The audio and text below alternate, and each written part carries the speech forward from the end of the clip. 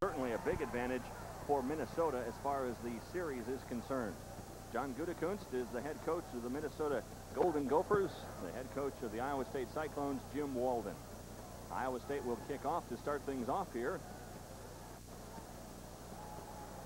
Taking a look at Jeff Shudak, who is an honorable mention All-American last year, first team All Big Eight. He is an outstanding one. He had one extra point block last week. Back deep for Minnesota. Sean Lumpkin along with Chris Gaiters. You got to look out for Gaiters, number two. He is a flyer. Crowd on its feet as we get set to start here in Ames. Kicking with the wind, angling it for the far sideline. It hits on the goal line, and now Gaiters gets it and touches it back. So it'll be first and 20 for the Golden Gophers as they set on offense. Quarterback of the Golden Gophers in his second year with Minnesota, Scott Schaffner out of West Chester, Ohio. He also played at Moeller High School, that famous high school near Cincinnati. Scott Schaffner, the quarterback of the Golden Gophers.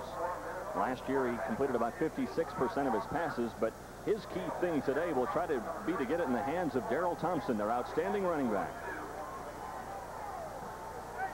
First and 10 from the 20.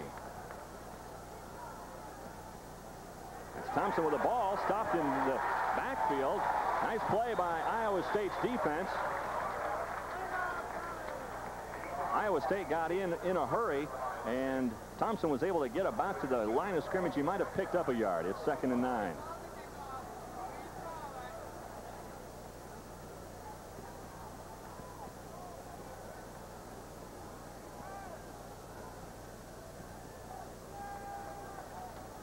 Golden Gophers again with Darrell Thompson, one of the leading halfbacks in all the country. Also have to look out for number two, Chris Gaiters. He is an outstanding wide receiver. Schaffner on the rollout. He wants to throw it, and it goes out of bounds. Incomplete. It'll be third down and nine yards to go. Good defense for the Cyclones. Jeff Bauer was over there along with Marcus Robertson. The offensive line for the Golden Gophers anchored by Big Dan Limata, a 6'6 senior, 280 pounds. Schaffner not making a very good throw that time, trying to get a little sprint out action. I think you'll see Minnesota during the course of the game attempt to move Schaffner out of the pocket so he can buy himself some time. They said they want to try to pass the ball more effectively this year, but we'll see if Minnesota in their first game is going to be able to do that. Third nine, the extra cornerback is in for Iowa State. Schaffner again, straight back. Now the pitch up. That goes nowhere, and Iowa State will go on offense. Dan, Don Edwards, who is there to make the stop, the senior out of Fort Lauderdale. Edwards, who had 10 tackles against Iowa, and coincidentally, Iowa State will take on the Hawkeyes next week here in Ames.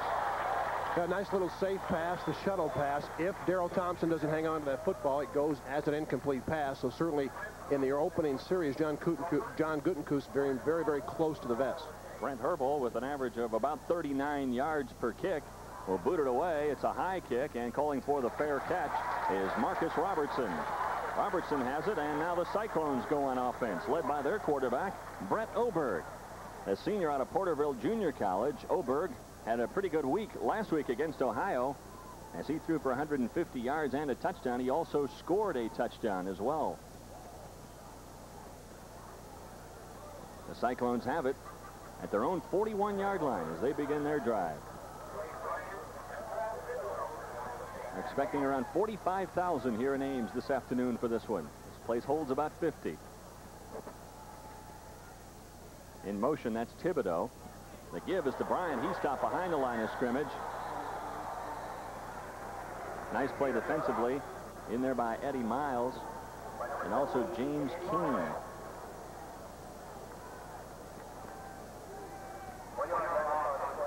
Blaise Bryant, we've talked about him for the Iowa State offense. He is outstanding, as is Mike Bush, their tight end. Second and 10. Maybe a loss of one. Maybe we'll call it second and 11. Oberg with a pitch back to Bryant. Has some room around the right side. Picks up about four or five on the play up to the 45. It'll bring up a third down and six. Doug Evans came up from the strong safety position to make the stop. Offensively for Iowa State up front, a big front line anchored by Keith Sims, a 6'4 senior who weighs 300 pounds. And man, he's been all up and down that line. Started as a tackle, then a guard. Now he's found a home at center. Third and six with the ball at the 45. In motion goes Bryant. Cross the middle, complete. Troy Moore with a catch. Nice slant play inside, and that picks up a first down inside Minnesota territory down to the 40-yard line. Fred Foggy came up from his left cornerback position to make the stop. Well conceived play, as you saw. Blaise Bryant in motion, holding that cornerback. Of course, in that case, Iowa State with the option. And a good throw as they come out and get things going early. First and 10 from the 40 of Minnesota. Again in motion goes Bush. Comes over, checks up on the near side. Oberg was drilled, and so was Bryant. John Leverenz, the middle linebacker, came up to make the stop. They tried a draw play up the middle, nothing doing there. Defensively for the Golden Gophers up front, Skeeter Ockrey is both the long and the lean of that defensive front line for the Minnesota Golden Gophers. Skeeter Ockrey, a 6'7", 226-pounder.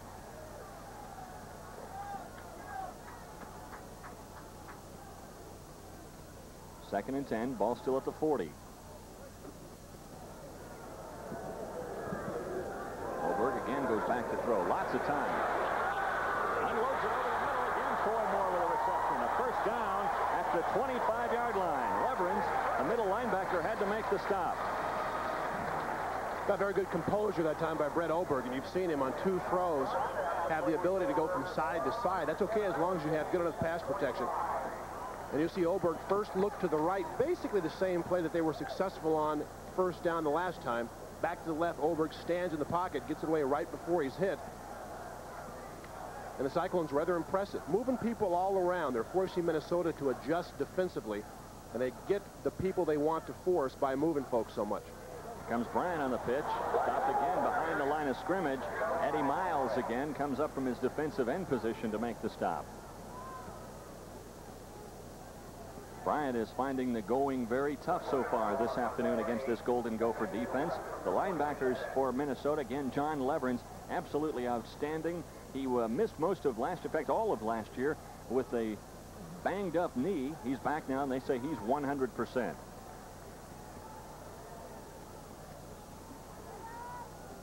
A loss of one, second and 11.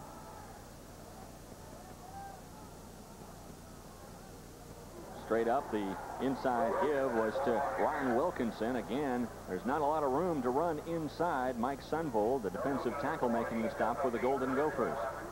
Also, Eddie Miles in on another stop for Minnesota. You know, both teams very concerned, the head coaches, about their ability to stop the run. And so far, Iowa State in their first possession moving the ball a little bit, but uh, Iowa State defensively, three and out with the Minnesota offense, and uh, the Minnesota defense has played reasonably well against the rush. Dave, Iowa State has moved the ball, but through the air, not so much through the ground. Third down, 11 yards to go. Ball at the 26. Oberg rolls out.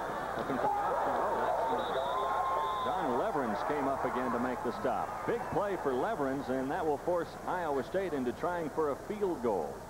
We talked about him at the top of the telecast. All Big Eight, oh, excuse me, all Big Ten performer as a sophomore. And Leverenz is a guy that his goal this year is to remain completely healthy. He's been banged up so much through the course of his career. Missed his freshman year with a broken thumb. I mean, linebackers have things like that happen because they're constantly trying to find somebody to hit. But Leverenz is one of the outstanding linebackers in the country. 44-yard field goal attempt from Jeff Shudak. He was 10 of 11 from this range last year. It's up. It's good.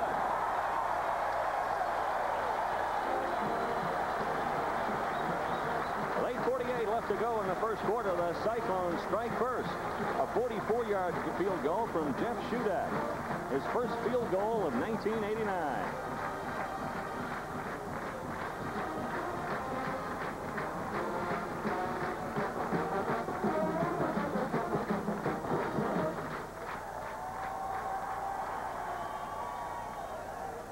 Kickoff with the wind at his back. It's not a very strong wind here at Iowa State today. Normally, the wind blows here at 25 to 30 miles per hour, but not today. A very pleasant day here in Ames. It might be warm down in the field day for the players themselves, but for the uh, fans in the stands, absolutely gorgeous. Yeah, and I don't think the heat will affect the players that much. I mean, of course, growing up here in Ames and up in the Twin Cities, they are used to very hot and humid weather. As you mentioned, it's really not that humid today, nor hot. Of course, we're not down there playing either. That's right. Again, Gaiters is back deep. Waiting the kickoff by Jeff Shudak. Shudak last time kicked it right down to the goal line, and Gaiters was forced to down it. And This one's even deeper. That might go through the end zone. It does. No longer is that rule in college football where they used to bring it out to the 30-yard line on something like that. Now it's still out to the 20, and that's where Minnesota will start once again.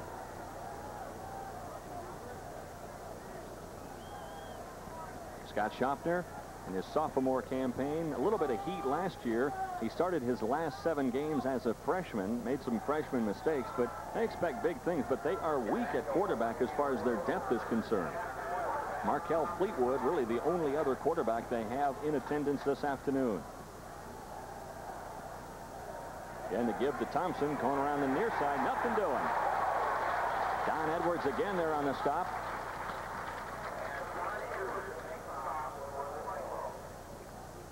Edwards with an outstanding play defensively. Stopped him right at the line of scrimmage. No gain. It'll be second and 10 from the 20. When you have a back like Darrell Thompson, obviously the defense will key on what Thompson does. And I think before the afternoon is through, John Gutekunst is going to have to throw the ball a little bit on first down. They've been in a one-back system, and it's basically been Thompson to the right and left, with the exception of a couple throws. And Iowa State really looking for Thompson. There's Thompson again. Couple of yards on the left side. Whole host of uh, Iowa State Cyclones there. Larry Radigan came up from his linebacker position along with Randy Byrne. Edwards again around the ball. A pickup of four. It'll be third down and six. We mentioned some NFL scouts think that young man right there, number 39, will be in the top five players picked in next year's NFL draft. Such a big, strong, and yet nimbly quick back. 220 and runs under 4-4 and a 40. 7.35 and the clock is ticking in the first quarter. Third and six.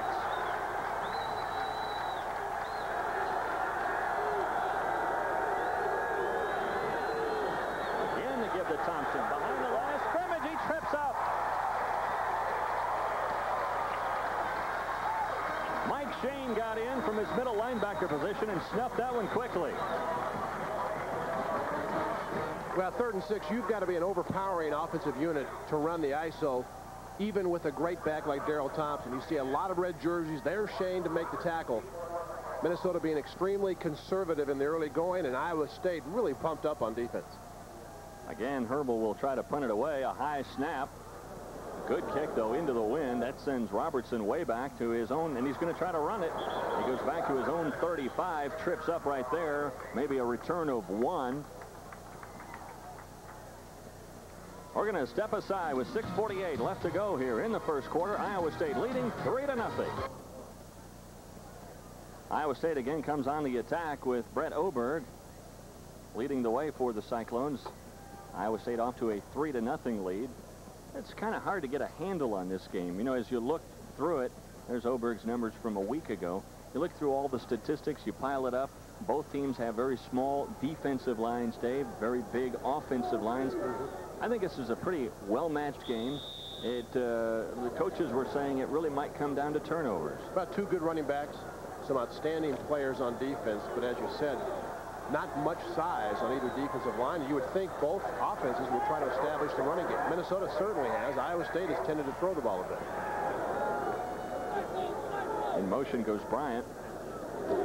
Oberg wants to throw on first down. He does across the middle to his tight end, Bush. Stopped by Leverenz. Also, Sean Lumpkin came up from his free safety position. That's going to be John Glotfeld, yeah. I believe, as he cuts inside. Minnesota in a, in a very basic zone defense. And again, Iowa State moving people around before the snap, and they're forcing Minnesota to make some adjust adjustments in the defensive secondary. When you do that and maybe you don't get people to line up where they're accustomed to, you find some open receivers. And so far, Oberg's been right on the money. Yep, credit that catch to John Glotfelty, not Mike Bush, the tight end. Glotfelty coming in from his wide receiver position. First and 10. Bryant tries to go around the far side. Look at that cutback. He made a play there. He was stopped for a loss and picked up about three. Mike Sunvold finally made the stop.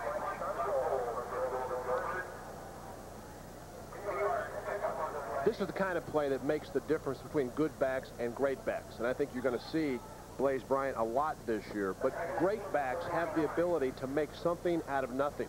Watch how quickly he can stop, get up inside, make a couple of yards where it looked like he was going to lose four or five. Second and eight. Ball just shy of the 50-yard line. Makes my feet hurt to watch cuts like this. Bryant again, this time nothing doing. Ooh, he's smothered. In the backfield, Ron Getz, the linebacker, came up to stop him.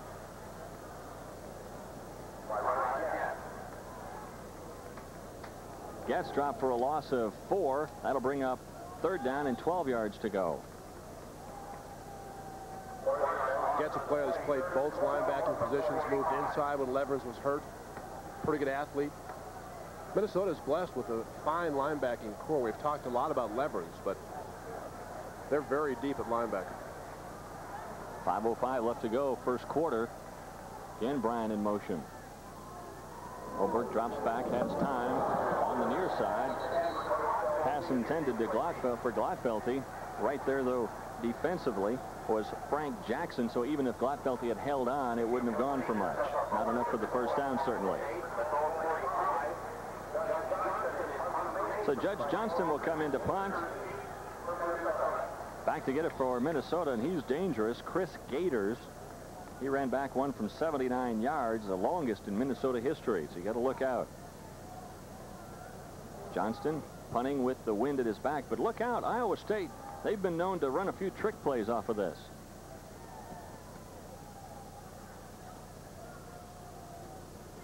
Not this time. Johnston with a high booming kick with a win. That's going to go into the end zone. Into the end zone it goes. Ball at the 20-yard line. When we come back with 4.49 left to go in the first quarter, it's still Cyclones 3, Gophers nothing. Minnesota goes on offense. Ball again at their 20-yard line. They've started there three times in a row. Again to Thompson. Again hit behind the line of scrimmage. Mike Shane again coming up to make the stop. Dean Allers was also in there, as was Travis Block.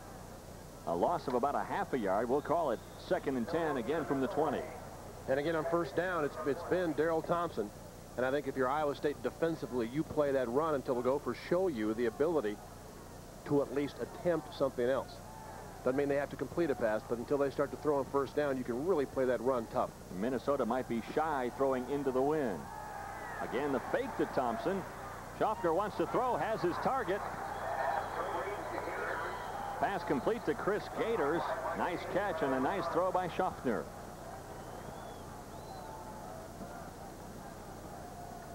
Same kind of action you saw in the first series. But they just get outside and buy some time. And Gaiters and Tingelhoff actually in the same area. Tingelhoff falls down. But this is the kind of thing to get Minnesota going. You know, your first game of the season, you've got some jitters. You haven't played anybody. You want some success early. You're the Minnesota coaching staff, and that's been the first positive play they've had. First first down for the Golden Gophers. Across the middle, look at Gaiters with a grab. He might go all the way. No, he's hauled down. Marcus Robertson got him from behind, and now we have a flag. We've got helmets coming loose, the football coming loose. we got guys trying to recover a helmet. Let's give an equipment check. And it's a terrific catch by Chris Gaiters. A pretty good throw by Schaffner up and over the linebackers. That's a terrific catch. Now, Gaiters is off to the races, and Marcus Robertson with one hand. Off comes the helmet, and away goes the ball. I believe Gaiters is going to be ruled down. That's great speed by Marcus Robertson. Robertson got a hold of the face mask. A five-yard penalty ruled inadvertent. They'll mark it now at the 13-yard line. It'll be first and 10 from the 13. What a catch by Gaiters. Well, he does have blinding speed, and if not for the blinding speed of Robertson, that would have been six. And a pretty good throw by Schaffner again, up and over the linebacker on a seam pattern. You stretch that secondary and you force those linebackers to have a lot of depth. And because they've run the ball so many times, those linebackers have been playing close to the line. Iowa State has not allowed a touchdown in 1989, just allowing a field goal to Ohio last week.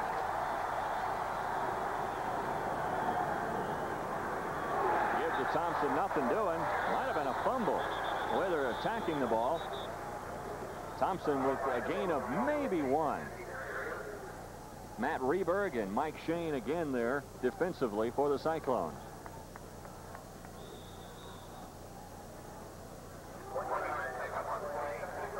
And if John Gutekunst wants to throw the ball, second down is the down to do it. Obviously, if they don't pick up yardage, third down, you almost have to throw it. So if he intends to put it in the air, this would be the down. Ball at the uh, six-yard line. It's second and goal from there. Movement on the Iowa State line. Now they're saying Minnesota jumped.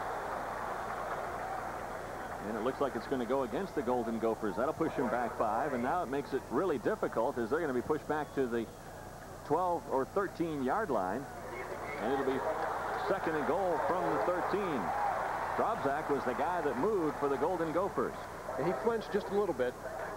Boy, as an offensive lineman and those who have played the position are aware, once you do, you just you can't find a place to hide. You sit as still as you possibly can, but they usually see that movement as an offensive lineman. So a break for the Cyclones. It's now second and goal from the 13.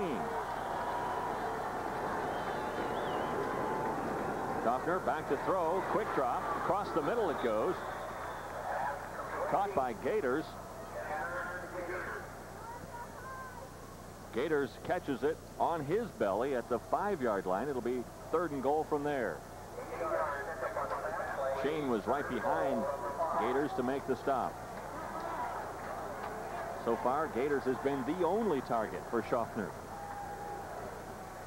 Why not? When you got a guy of that quality, you might as well go to him. He threw to you all the time at Cleveland. But when they didn't, I was begging. Third and goal from the five.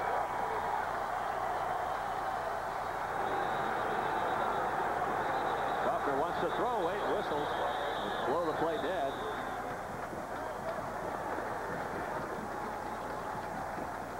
See what this is all about. Is it delay of game?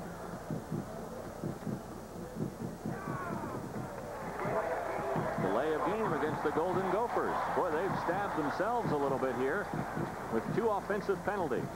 And that's one that you just simply can't have. The play, it looked like, got in in plenty of time as they rotate players in and out, trying to give Schaffner the play. But you've got to get your people up and get the play off. The 25-second clock in a situation like this should give you plenty of time to execute that play. Third goal again, this time, though, from the 10.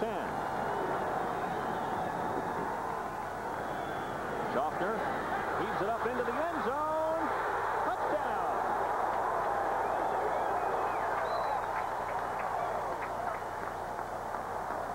Pat Tingelhoff, the son of Mick Tingelhoff of the Minnesota Vikings. Tingelhoff goes into the corner and makes the touchdown. Well, his daddy's got to be pleased with this one. Three-step drop. It's called the alley-oop. Tingelhoff simply takes it to the end line. Nice catch. Very nice catch as he beats Andrew Buggs, the defensive back. And that's a play that it's simply a one-on-one. -on -one. Buggs lines up to the inside. He let Tingelhoff off to the outside. And a good throw by Schaffner.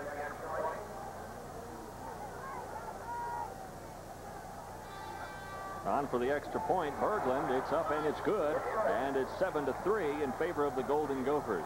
Maybe let's take a look at that play again. Schaffner with a nice touch. And remember, this is going into a breeze of about 15 miles per hour. Schaffner laid it up perfectly. Well, it's a play that Schaffner right now knows where he's going with the ball because of the coverage on Tingelhoff. You can see Buggs is beaten to the outside. Now, this is a good throw and an excellent job of concentrating on the football by Tingelhoff. Right from the start, Buggs lines up inside. Tingelhoff knows he simply releases to the outside, runs directly to that second flag in the end zone. And it's just up to the quarterback to make sure the ball gets up and over the back and gives that receiver a chance to catch it. And that time, it certainly did. So the crowd here in Ames quieted for the moment. Tingelhoff, one of those possession-type receivers for the Golden Gophers.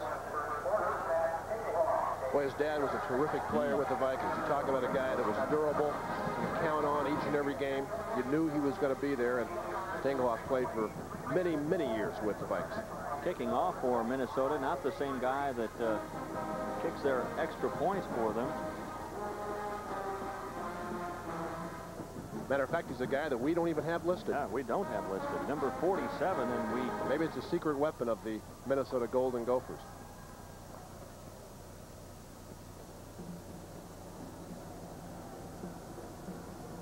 Aaron Pipecorn will kick off for Minnesota. Brent Berglund. Berglund is the guy that normally does their kicking chores. They're kicking into the wind, though. Thibodeau has it at the 15. Uh, goes up to the 35-yard line, a gain of 20 on the kickoff. So Iowa State again starts with pretty good field position. Iowa State certainly has had that luxury so far this afternoon. They trail, though, 7 to 3.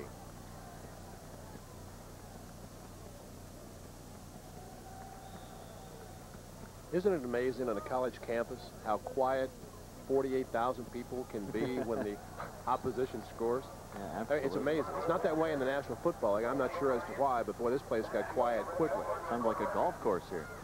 Bryant cuts back, pickup of a couple of tough yards. Mike Sunvold was there defensively for the Golden Gophers. Well, we've talked so much about those running backs, and yet they haven't been the story this afternoon. No, but I think before we're done, we'll see more of Thompson and Blaise Bryant. You can see number 21 replaced Joe Henderson last year. Big enough that he can break some tackles. He's got very good speed, one of the fastest members of the Cyclone team. And he'll be the guy this year. Minnesota showing everybody up on the line of scrimmage. Just three guys back. Now they break back, and Oberg rolls out to throw. He's got time. He's got his receiver. Glotfelty again with a catch. Across midfield down to the Minnesota 45-yard line. Doug Evans was there defensively for Minnesota. I'll tell you, this is a good throw by Brett Oberg. As he gets to the outside, you can see the Cyclone seal inside. And Glotfelty had got behind the corner, and it looked like for a minute that Oberg might decide to throw the ball deep. Evans beaten to the outside. Glotfelty with excellent hands. He really he came here as a as a quarterback. Played some in his first year. So he always gives you the possibility from the wide receiver position of throwing the football. And I'll bet you anything before this thing is over, if not this game, certainly the year, Glotfelty will throw one of the double passes or the reverse pass of some sort. No doubt about it. Also on the baseball team here at ISU. Another pass across the middle. Glotfelty again. Sean Lumpkin made the stop from his free safety position, but just as Schaffner had gone to Gaiters, now it's Oberg and Glotfelty. And once a quarterback gets confidence in a receiver, he tends to look for that receiver, sometimes more than he should. In this case, uh-uh. Glotfelty hooks inside. Most times you won't see quarterbacks that can make the transition to a wide receiver because they don't like to get hit, but Glotfelty, a good one. Should be the last play of the first quarter. Clock ticking down with five seconds to go. And Minnesota comes storming across the line of scrimmage. Minnesota's claiming it was Iowa State who moved, but Iowa State saying no, it was Minnesota. We'll let the officials decide. Oberg is clapping, so it must be against Minnesota. Yes, it is. Offsides against the Golden Gophers. Well, that's a third really tough penalty. It didn't end up hurting them on that touchdown drive, but now it's first and five from the 25. And that stops the clock in the first quarter with three seconds to go. So one more chance with the win for Brett Oberg.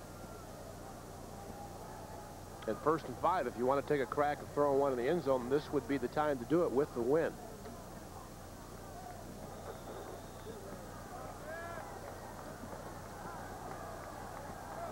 Oberg brings him up to the line of scrimmage.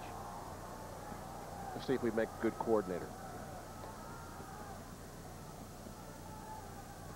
Nope, up the middle, the draw play. a little more conservative here at Iowa State, at least early on. That's why we're up here. Eddie Miles and John Leverenz were there to make the stop, and that'll do it for the first quarter. As Bryant has stopped after a gain of two, uh, but that brings up second and four. We'll start the second quarter in just a moment. Iowa State trailing by four with the ball at the 24-yard line, second and four. Dave, when you played in the wind, a wind like this, is it really a factor, 10, 15 miles an hour? I, I, I don't think so. Uh, we were down on the field before the game, and uh, I played in wind much more substantial than this, and you can throw the ball to a certain extent. I don't think you'll see, if the wind remains as it is, either passing offense effective. Jim Walden coming into this year, he'd like to throw the ball a little bit more. He's an innovative guy. Gets his players ready to play. I think every head coach to a certain degree in college uh, not everyone, but certainly most of them would like to run it. But here's a guy that I think if he had his druthers would go back and throw the ball a few times. Jim Walden named a head coach here, now in his third year at Iowa State. Three and eight his first year, five and six last year. They look to be over the 500 mark this season. He's one of the more entertaining coaches in the industry. Fumble. Oberg might have fell on his own uh, fumbled snap from center from Keith Sims, and he did. Iowa State gets it back. Fortunately for them, Sims, again, we remind you that he is converted from the left guard position over to center, but he really likes the center position. And Walden says, I don't think I've ever had a player adjust to a new position as easily as Keith Sims has to center. Well, they've gone from first and five, where you really can run anything you like, to third and five. Almost certainly a passing situation.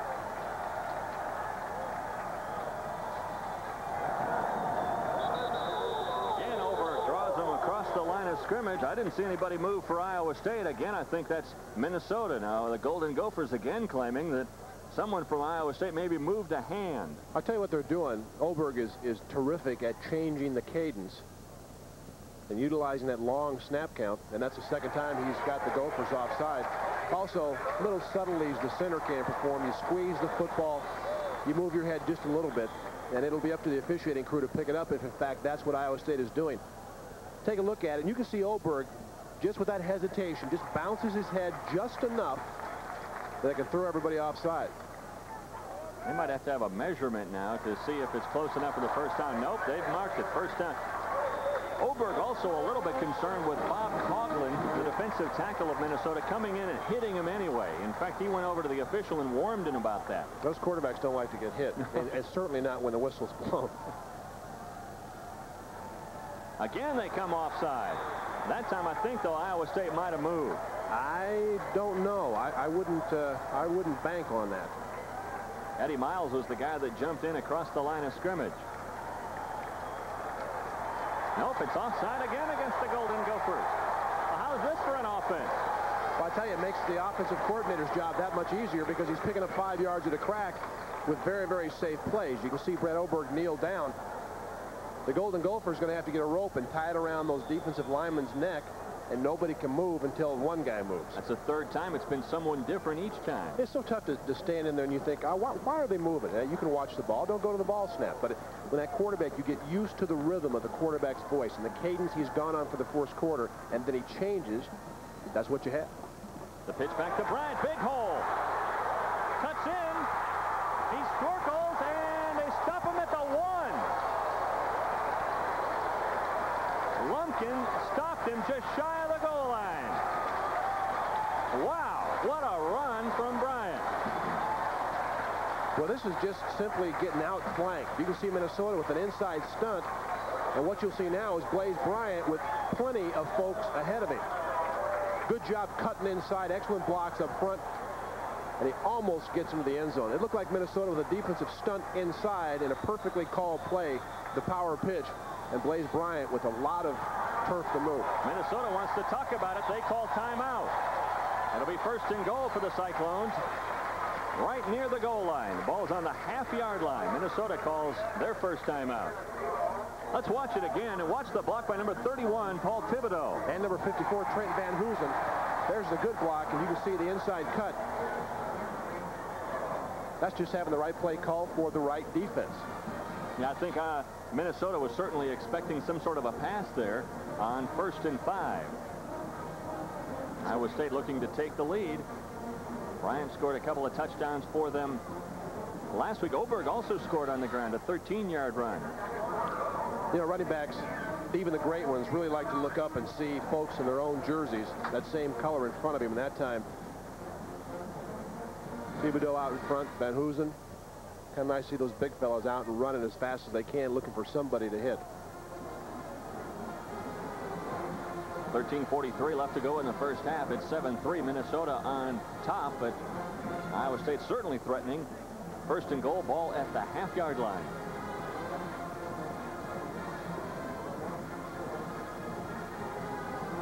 Minnesota had to take time out to regroup after that long run by Bryant. And he ran for 213 yards in his debut last week. That's the most ever for a first-time player in the Big Eight Conference. And Jim Walden said he kept it very basic. Didn't want to burden him with too many different plays and sets. And 213 yards on a few plays. Pretty impressive. Bryant now the lone back. Oberg barks the signals. To Bryant. Touchdown.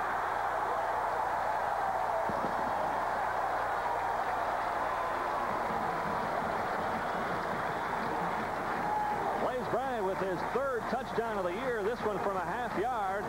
And Iowa State regains the lead. Look at the lean that Blaise Bryant has. Very, very tough to stop a back, especially a good size back when he's got that forward lean. And Blaise Bryant expecting to score. Now, you'll love this play. Shudak, who had one block. Look at this. Shudak, who had one block last week, will try for the extra point. What they do, they, they move the course now to kick the conventional point, but they also, at times, give the ability to do something crazy on the extra point. It's up and it's good. No problem. And it's a three-point lead for the Cyclones. 13.40 left to go in the first half. Iowa State has regained the lead. His kickoffs into the end zone, but now he'll be kicking into that light breeze, and we'll see if he can do it again. Gaiters again. The burner will be back there for Minnesota. He's the deep back.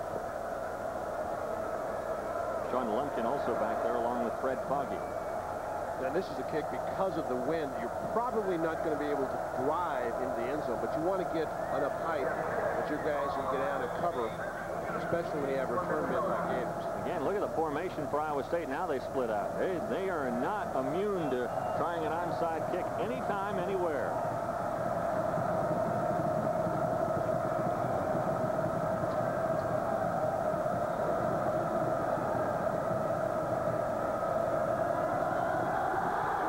this one away. Comes down to Gaiters at the 10. Gaiters hit now swarmed under at the 25. Jim Duran was there to stop it defensively for Iowa State. And if you're wondering, is Jim Duran the son of Jim Duran from the mid-50s? Yes, he is, the All-America wide receiver. You can see Bryant Blaise right Bryant. over the middle. He powers into the end zone behind Gene Williams and Trent Van Hoosen. Keith Sims, the center, with a good block. Running behind some pretty big offensive linemen. And you look at defensively for Minnesota, they, uh, like Iowa State, are small up front. So that's certainly the play to go, to go with there. 13.33 left to go first half. Thompson this time has some room.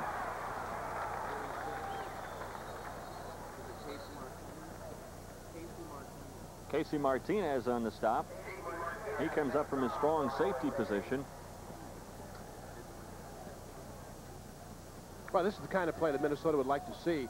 It's the counter trey that you've seen the Redskins run so effectively. And boy, Thompson sees this hole here and watch him pick up those feet. Got to get to the secondary, which he does. Martinez comes up with a fine tackle. Thompson's the kind of guy that you see him, he looks so big, you wouldn't expect him to be that quick, but he's got great speed. This time Schaffner wants to throw on second and short. He goes deep. That's going to be pass interference. No question about it. That's Dave Eater, the senior out of Elgin, Illinois. He had no idea where the football was, and he just ran into the intended receiver. Got a good job of pass protection up front. And Eater, had he just known where the ball was, as you mentioned, that would have had to have been a perfect throw to be com complete. Now, one of the differences in college football as opposed to the National Football League, that will not be marked from the spot of the infraction. They will take it back, mark off the yardage from the line of scrimmage. So if you're beaten for a touchdown, in other words, at college, it makes sense to grab the guy, prevent the touchdown, and give yourself uh, defensively another chance to line up and play. Yeah, because that would have been a huge penalty against Iowa State. I'm not sure he would have caught the ball had the defender just been able to get out of the way. It was a ball thrown a little bit short. Got a 15-yard penalty marked off, and it brings the ball inside Iowa State territory at the 49. Again, Thompson, a little more room to run. Dave Eater there along with Tim Baker after a pickup of four. Thompson's the kind of guy that can make his own room. When he through that hole, picks those legs up. He's got the high knee action. Very, very tough to tackle. Iowa State's going to have to do a good job of making sure they keep people after Darrell Thompson every play. He's kind of like Dickerson in that you can hold him to a two or three yard gain for a quarter and a half, and all of a sudden he breaks the big one off. Minnesota must see something on the left side they like. They had tried Thompson to the right to no avail, and now they're running him to the left. This time the fake to Thompson. Schaffner wants to run with it. He tucks it under, and he is shy of the first down. Marcus Robertson out of bounds, just short of the first down marker. They'll mark it down at the 41-yard line. I tell you, Schaffner wound up running, but he didn't want to. The receivers in that particular play went the wrong way. They had the drag action to the right side. The receivers had gone to the left side. Schaffner got outside.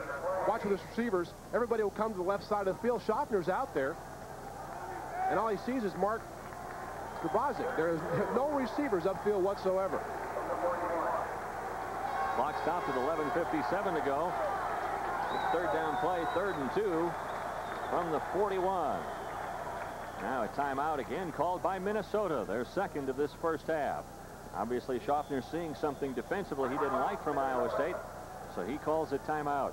Probably wants to make sure those receivers are going to come to the right side. Hey, hey, coach, I get out there. There's nobody out there for me to throw the ball to. As you look at the Big Eight race this year, Dave, uh, certainly you've got three or four teams in there that have a real legit shot at winning it. Colorado looks very good early on, as does the Oklahoma Sooners, and Nebraska is always going to be there. Oklahoma State struggled a little bit in their first week against Tulsa, but uh, they feel like they've got a team that can contend. How do you look at it? Well, I think, first of all, when you talk about the Big Eight Conference, you have to start with Nebraska and or Oklahoma. Oklahoma is going to be very, very tough. Nebraska is picked by some to be the top two or three teams, one of them in the country. I think Colorado has a chance to win the Big Eight Conference this year if they can stay healthy. They're not as deep as Nebraska nor Oklahoma. Prime Network brings you exclusive coverage of Big Eight football this fall. You'll see 11 games in all featuring Colorado, Nebraska, Oklahoma State, Oklahoma, Missouri, Iowa State, Kansas, and Kansas State. Catch all the action of Big Eight football this fall on Prime Network. Schaffner now gets through talking to his head coach, John Gutekunst, who, quite frankly, yes, is feeling some pressure at Minnesota after a year of 2-7 and 2 last year. The media putting a lot of pressure on Gutekunst to win and win early. Right now his team trails by three. So here's where you have the advantage. You can see what they did last year. Not that bad for a team that didn't fare so well in the wins and loss column, but here's where you had the advantage of Darrell Thompson. Schaffner handed it off and said, wait, he didn't hand it off, but now we have whistles to stop the play. All of a sudden, everybody stopped with Schaffner still had the football. Well, it's going to be against Minnesota. I, I, don't think it's delay of game, but they may have moved a little bit before the ball was snapped. That's the call. And that's those penalties are absolutely killing Minnesota, and you have to relate that to that first game where they really aren't on the same page.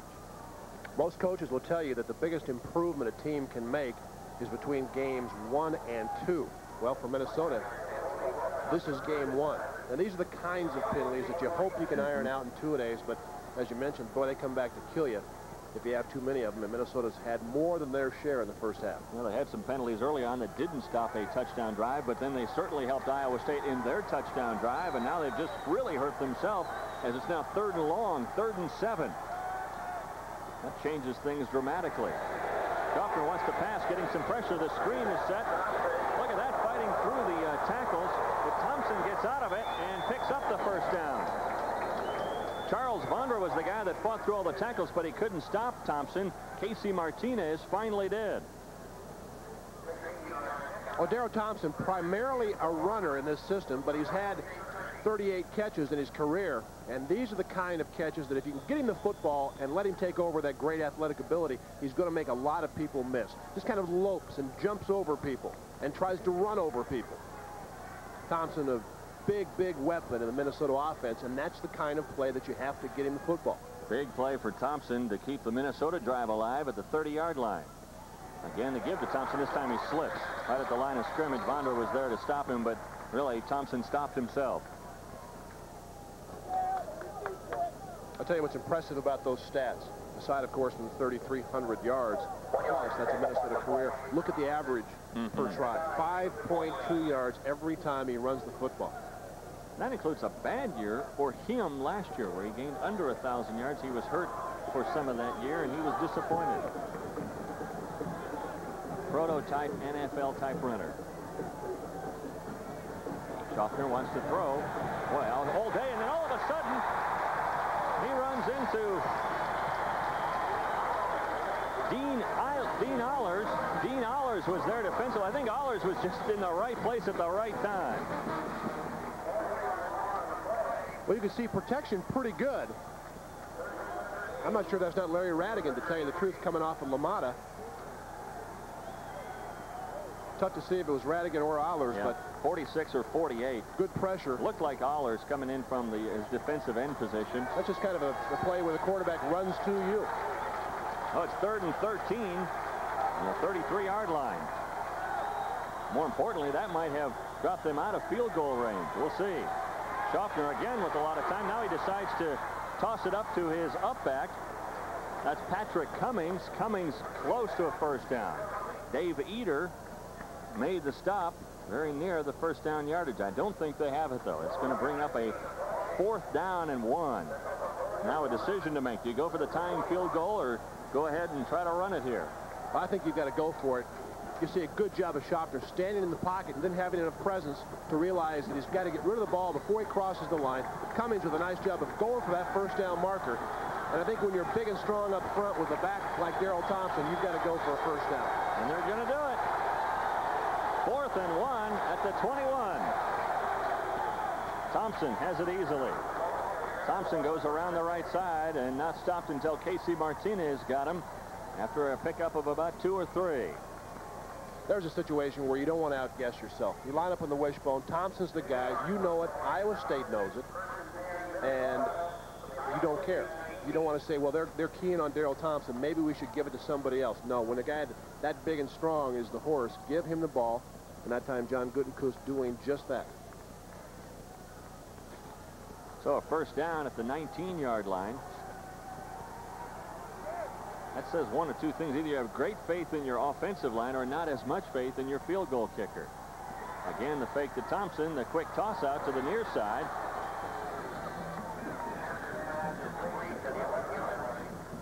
Completed to the 11-yard line. Marcus Robertson on the stop. Gerald Moore was the guy that made the catch.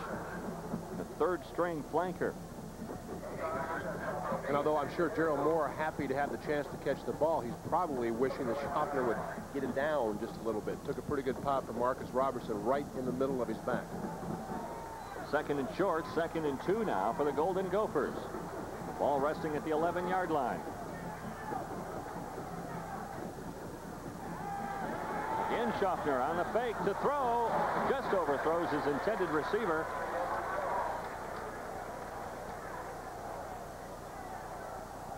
Thompson was looking for the football, but just out of his reach.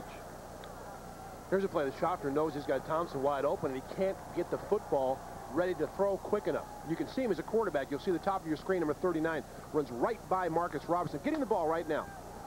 Just a little bit late. You got to put a little more air under the ball, let Thompson run to the corner, make the catch. And that will come with constant work. What do you do here? Third and two. Give it to Thompson. Boy, look at him push through. He was stopped at the line of scrimmage and forced his way through, maybe enough for the first down. Mike Shane was there, but that was a, a battle of wills. I'll tell you what, it was a battle of headaches, too. Mike Shane and Darrell Thompson kind of eye each other as they get up. Shane doing what good linebackers do, stepping up, filling the hole, and here comes 220 pounds of Darrell Thompson.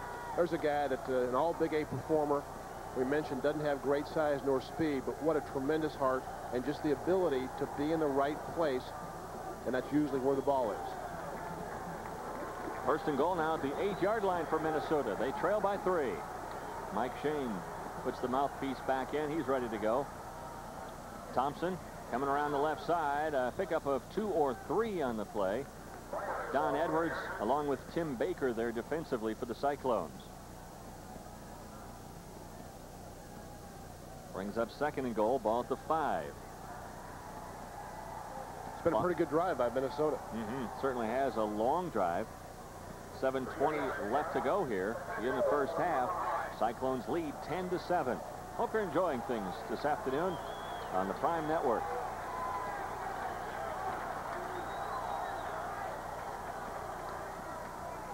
Again, to give the, this time, they give to Settembrino. Settembrino checking in for Darrell Thompson. Casey Martinez stops him short of the goal line. Travis Block also there. Settembrino, a sophomore out of Philadelphia. He was redshirted last year with leg injuries. Now Thompson back in. First and goal from the one-yard line. Minnesota doing a good job running to the left, as we mentioned, behind LaMotta and Lennon. Like a wishbone for Minnesota. They give to Thompson. Touchdown. Touchdown for Minnesota. And they regain the lead. This has been certainly one of those games that's gone back and forth. Well, the opponents of Minnesota are going to be able to pick up a couple of things. One, Thompson's the guy, and two, they love to run to the left. No way to stop a guy that big once he gets the leverage that he had very low to the ground. Watch how Thompson, once he sees the goal line, lowers his body. Just makes it virtually impossible to stop him at the line of scrimmage. And a good job by Minnesota on the drive. Berglund with the extra point. It's good. And with 6.29 left to go in the first half, the Golden Gophers lead the Cyclones of Iowa State 14 to 10. Minnesota, it took seven minutes and four seconds. Thompson with a one-yard run to cap things off. And Minnesota leads Iowa State 14 to 10. Both teams the last drive really impressive. Minnesota taking it virtually the length of the field. Iowa State the previous drive coming with big plays. You like the mix of the pass and the run. You got Darrell Thompson very much involved in the offense and Blaise Bryant on the other hand certainly a key component in the Iowa State drive. Ball fell off the kicking tee.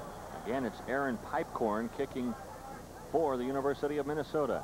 Aaron's going to have to get his name on the on the old yeah. Gopher list, isn't like, he? Hey, coach, I'm I'm actually playing. Can you uh, tell the uh, sports information director about it so that he can uh, relay the information onto the media? Aaron Pipecorn with his name not on the media list.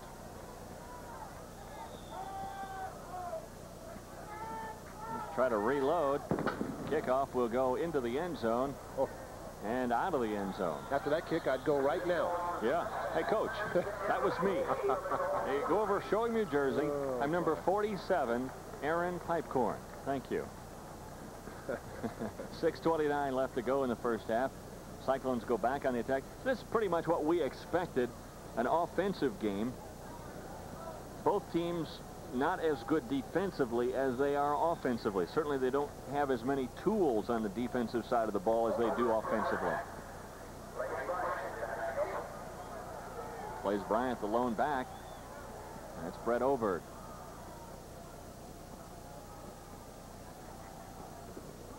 Oberg with the give to Bryant. Nice move at the line of scrimmage and a pickup of six on the play. Bryant looking to be stopped at the line of scrimmage. Coughlin finally corralled him after a pickup of six. Bryant doing what good backs do, and that's having the ability to pick the right hole. You line up in the one-back system, you give the ball to the back some four or five yards behind the line of scrimmage, and you allow him to decide as to where he wants to run. It's important, though, in a system like that, that all the offensive people sustain their blocks as long as possible. That time, pretty good job by Iowa State. Second and fourth, the 26. This time the fake. And now Oberg loses the football and gets it back.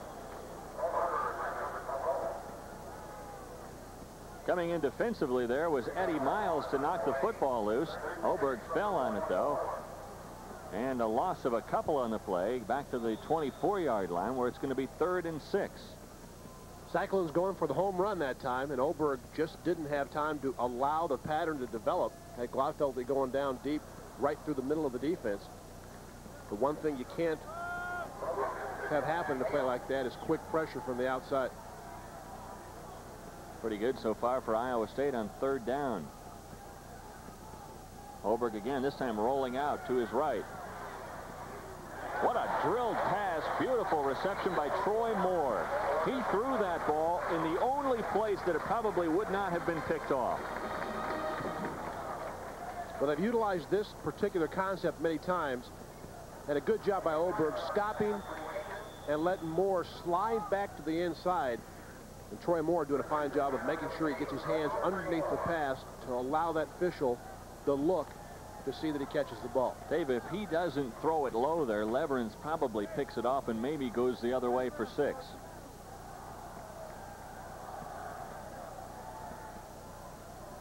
First down again, Oberg back to throw. Look at all much time he has. Now he runs with the football. Now he goes down with the football, but a pickup of about seven on the play before Mike Sunvold comes from behind and gets him. It's kind of funny because they teach quarterbacks to stand in the pocket and allow things to develop, but everybody in the stands is yelling, run! You can see right from the start that Oberg, right now, he's got a lot of daylight. Doing what he should do, though. Stay in there, make sure your receivers have a chance to get open, to slide from zone to zone. And Brett Oberg's a good enough athlete that he can pull it down and gain some yards when he has to. Ball goes up to the 43 where it's second and three. Iowa State doing a good job on first down so far in this drive. To Bryant. Oh, first oh, yeah. down and more. Cross midfield to the Minnesota 48-yard line. Max Stevens, the linebacker, the senior out of Akron, Ohio. A guy that Ohio State wanted, but as a tight end, not a linebacker. Well, that's what I'm talking about, picking and choosing the right hole. Good job of Blaise Bryant jumping back inside. And when you're that big at 200 pounds and you can make decisions that quickly, you stand a pretty good chance to be a good player in this league. Another first down for Iowa State now inside Minnesota territory. The give to the first back through. That's Ron Wilkinson. Leverenz the stop up the middle. Pickup of about two or three on the play.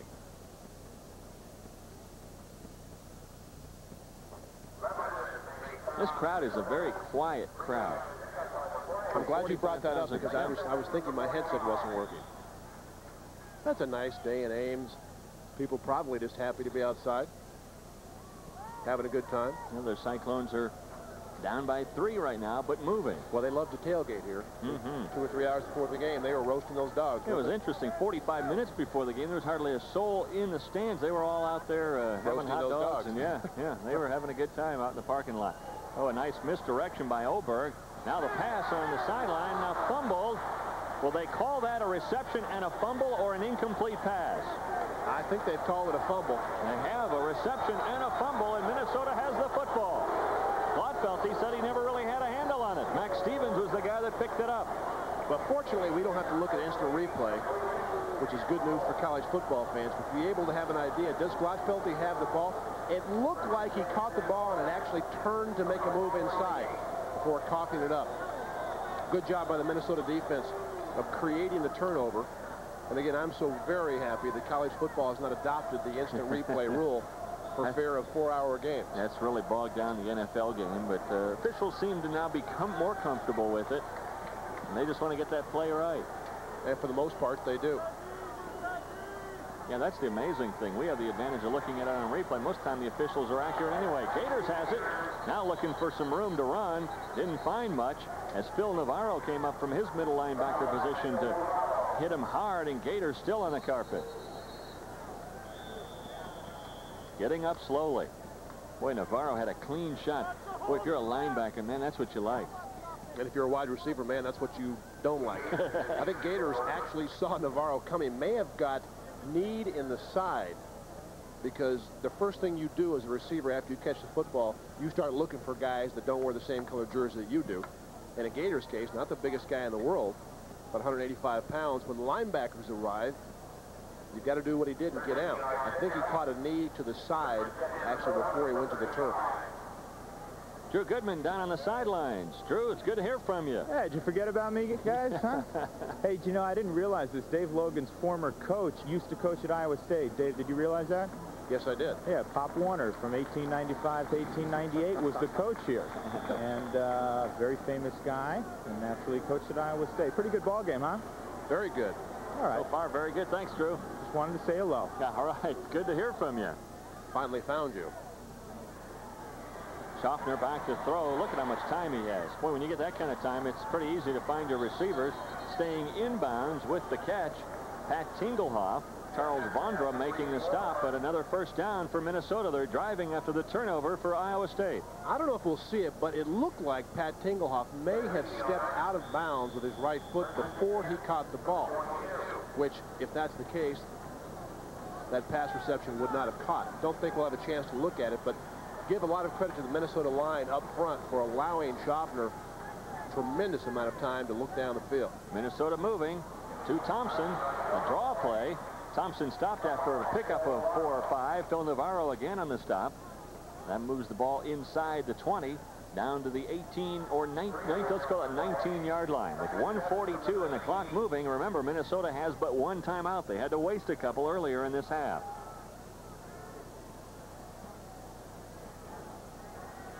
The clock will become a factor now.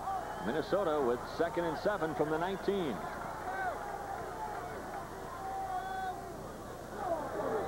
Thompson again to run. Navarro again there defensively. Navarro makes the stop along with Jeff Bauer. And the clock still moving with 112 to go.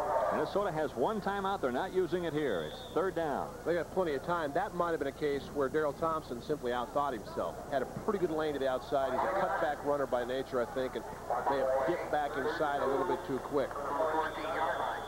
Now the clock will be stopped as one of the Iowa State football players uh, inadvertently kicked the pigskin. So with 58 seconds to go in the first half, the clock is stopped. Now they'll get things going again. Third and two from the 14.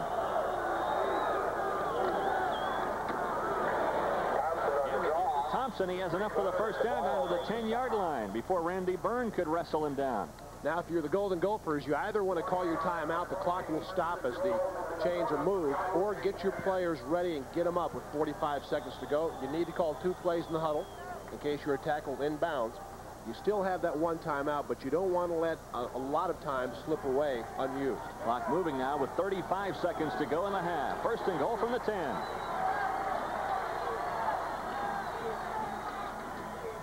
Schaffner over the middle. Hit as soon as the ball got there. Hit by Dave Eater, the intended receiver, Pat Tingelhoff, but he was racked. That'll stop the clock with 25 seconds to go in the half. This a tough throw as Iowa State did a good job of dropping people into the passing lanes. You can see the ball and Eater arrived simultaneously with Tingelhoff. That would have been a, an excellent catch had he been able to come down with it.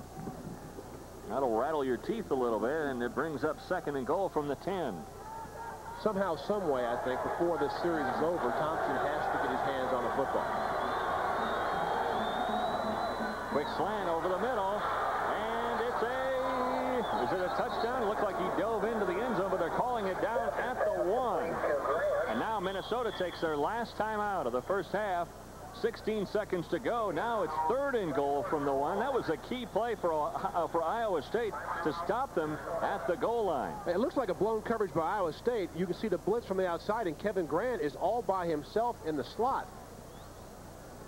Does he get across from that vantage point? Certainly looked like he clearly was in the end zone, but the officials have ruled him down. I, uh, Minnesota will now have a third down and about a foot to go.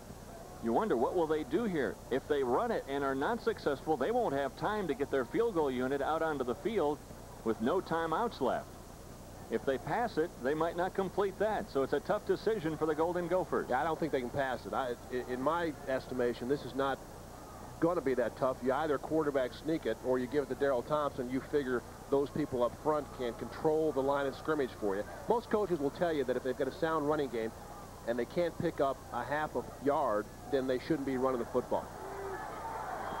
Thompson in the backfield again. They use the wishbone. Third and goal from the one. To Thompson. Stop!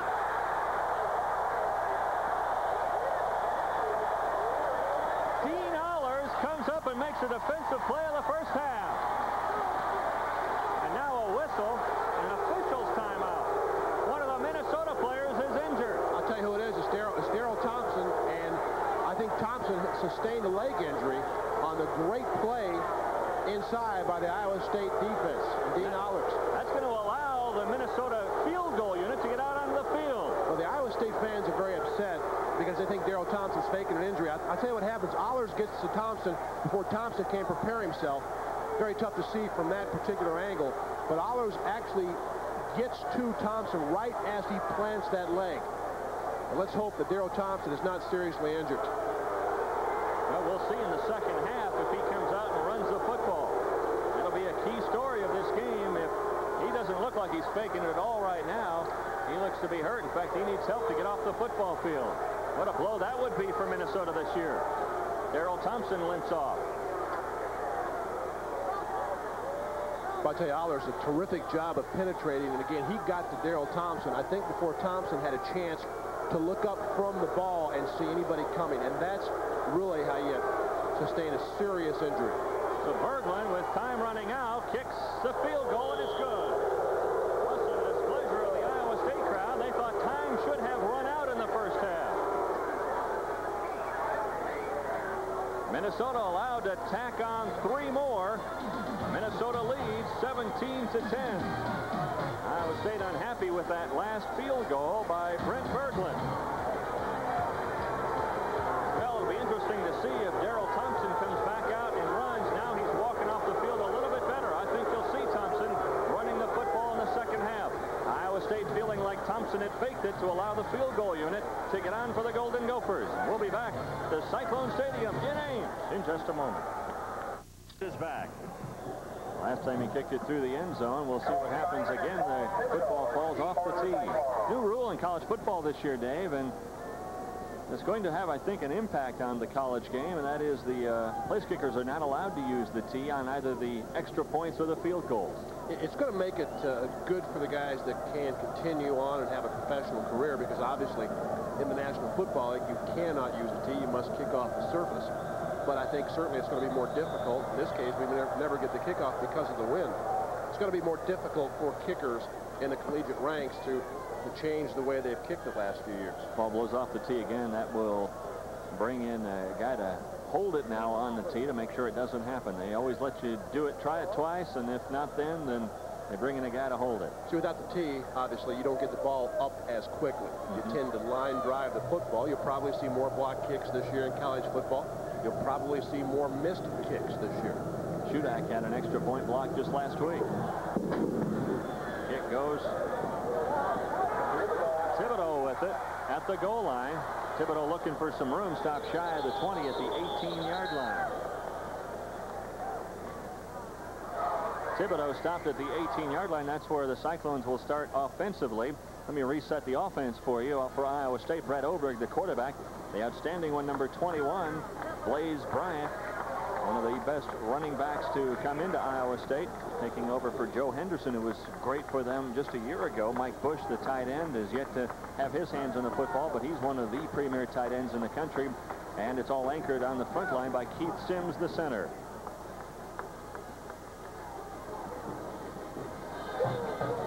Oberg goes back to Bryant, goes around the far side, pickup of only one or two. Sunvold there quickly to make the stop. It'll be second and eight at the 21.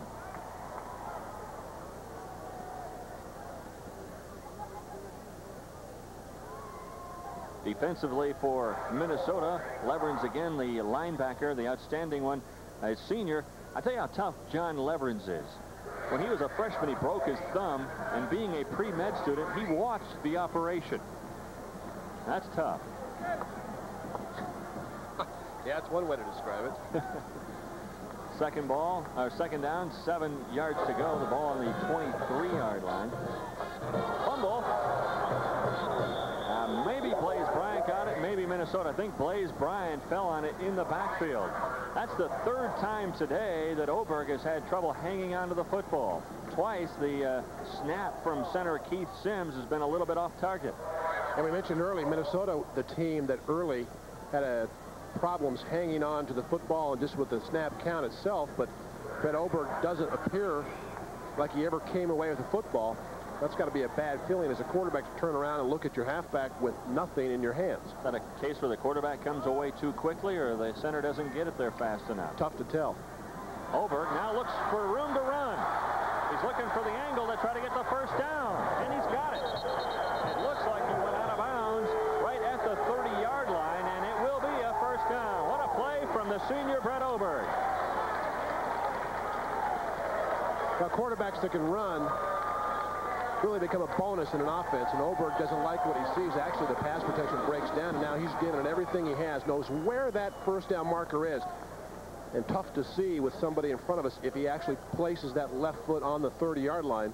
But that's where the ball was marked, and a nice play of making something out of nothing by Brett Oberg. That's good speed when you can run by a cornerback. Derek Fisher, Fred Foggy, finally was the guy to force him out of bounds after a pickup of 12 on the play. It'll be first and 10 from the 30. Bryant now wheels out, has time to throw across the middle.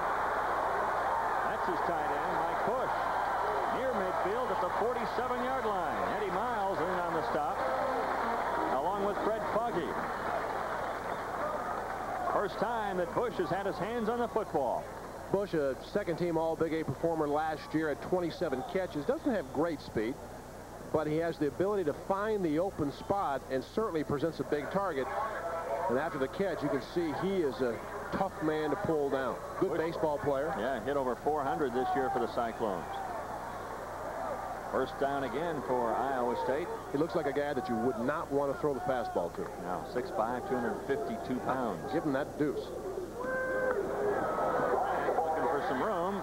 Darts back inside. Picks up two or three right at midfield at the 50-yard line.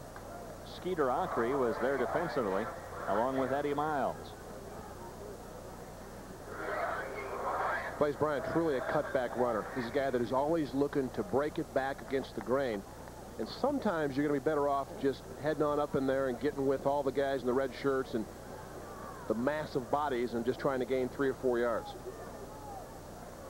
Second down, ball at midfield, seven yards to go for the Cyclones.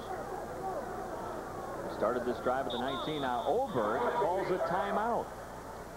Oberg not comfortable with the play call.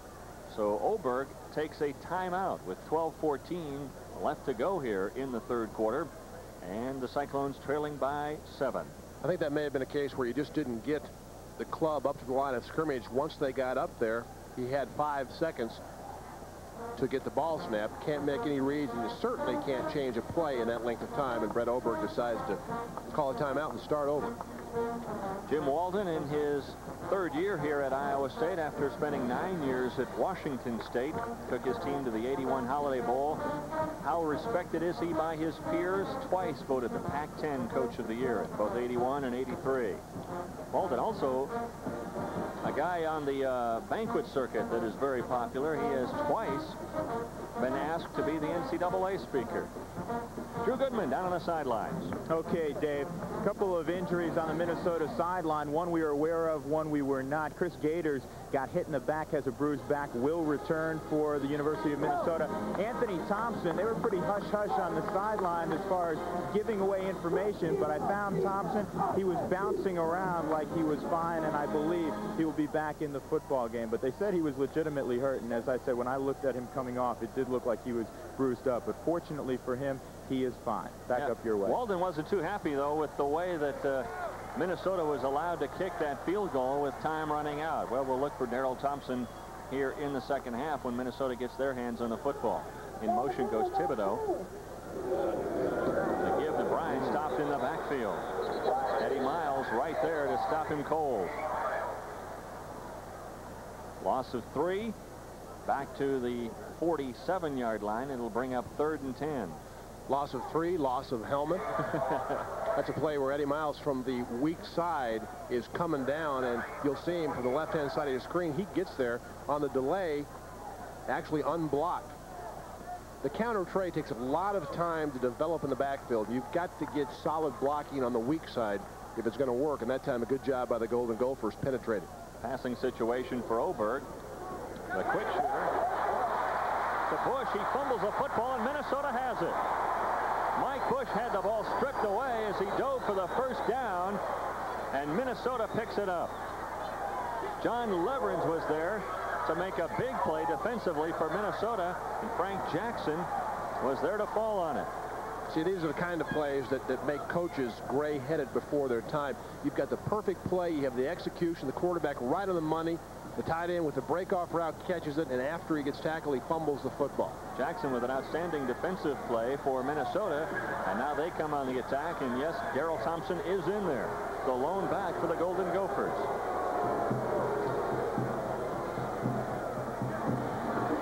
Schaffner back to throw it. Now he's chased out of the pocket, and he picks up four or five on the play. Randy Byrne there to stop him. Byrne coming off a knee surgery that he suffered last year late in the season. Three-yard pickup. It'll be second and seven. Ball at the 45-yard line of Minnesota. 17-10 our score. The Golden Gophers with a seven-point lead over the Cyclones. Dave Armstrong, Dave Logan, and Drew Goodman with you on Prime Network. I'm glad you're along.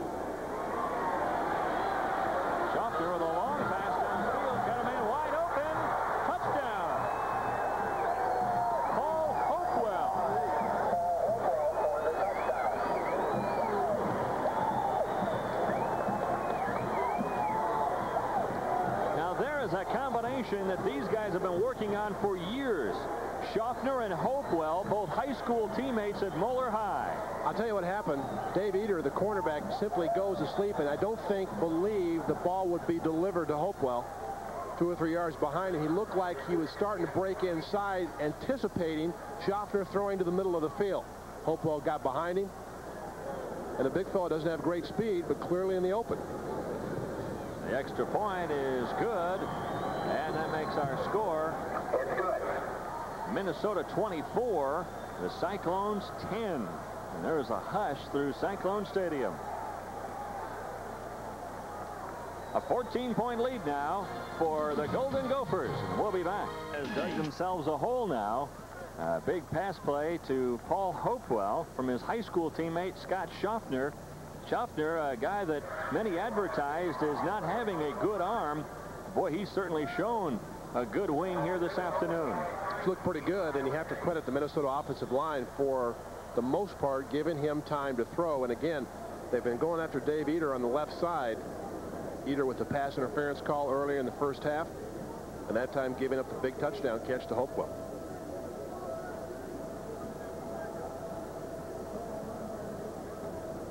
Ten forty-four left to go in the third quarter.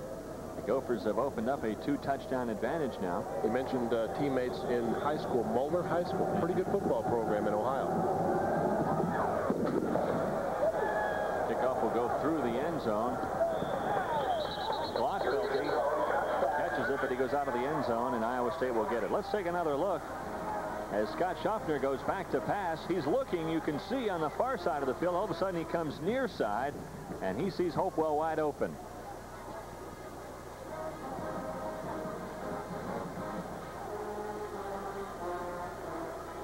Dave Eater was the man beaten defensively for Iowa State. And again, as you pointed out, Dave, I don't think he was expecting it to come to that side. A good play from Schaffner to look one way and pass another. So the Cyclones come back on the attack.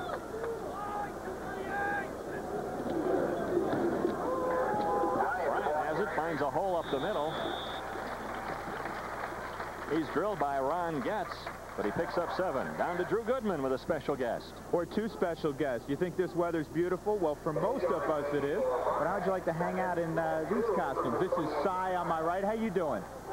Cy's doing well. I have to communicate for him. And on my left is Clone. Cy's been around since 1955. I don't know if the student uh, involved has been around since 55. Clone, you were adopted uh, this year. Let me get my mic in there. Talk, talk to me. Yeah, very articulate. See what, kind of, see what uh, hard-earned money your parents are going to. This is what you're getting for your college education these days. Dave, back up your way. Very insightful interview there. Thank you, Drew.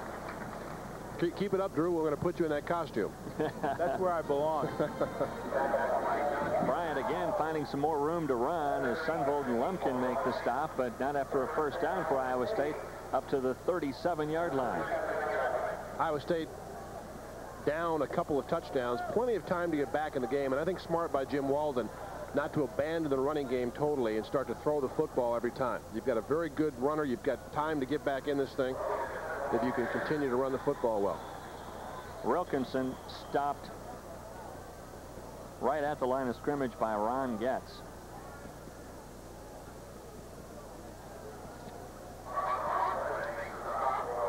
State sticking to their game plan, only down by a couple of touchdowns. And remember, in the fourth quarter, they'll have the wind at their back.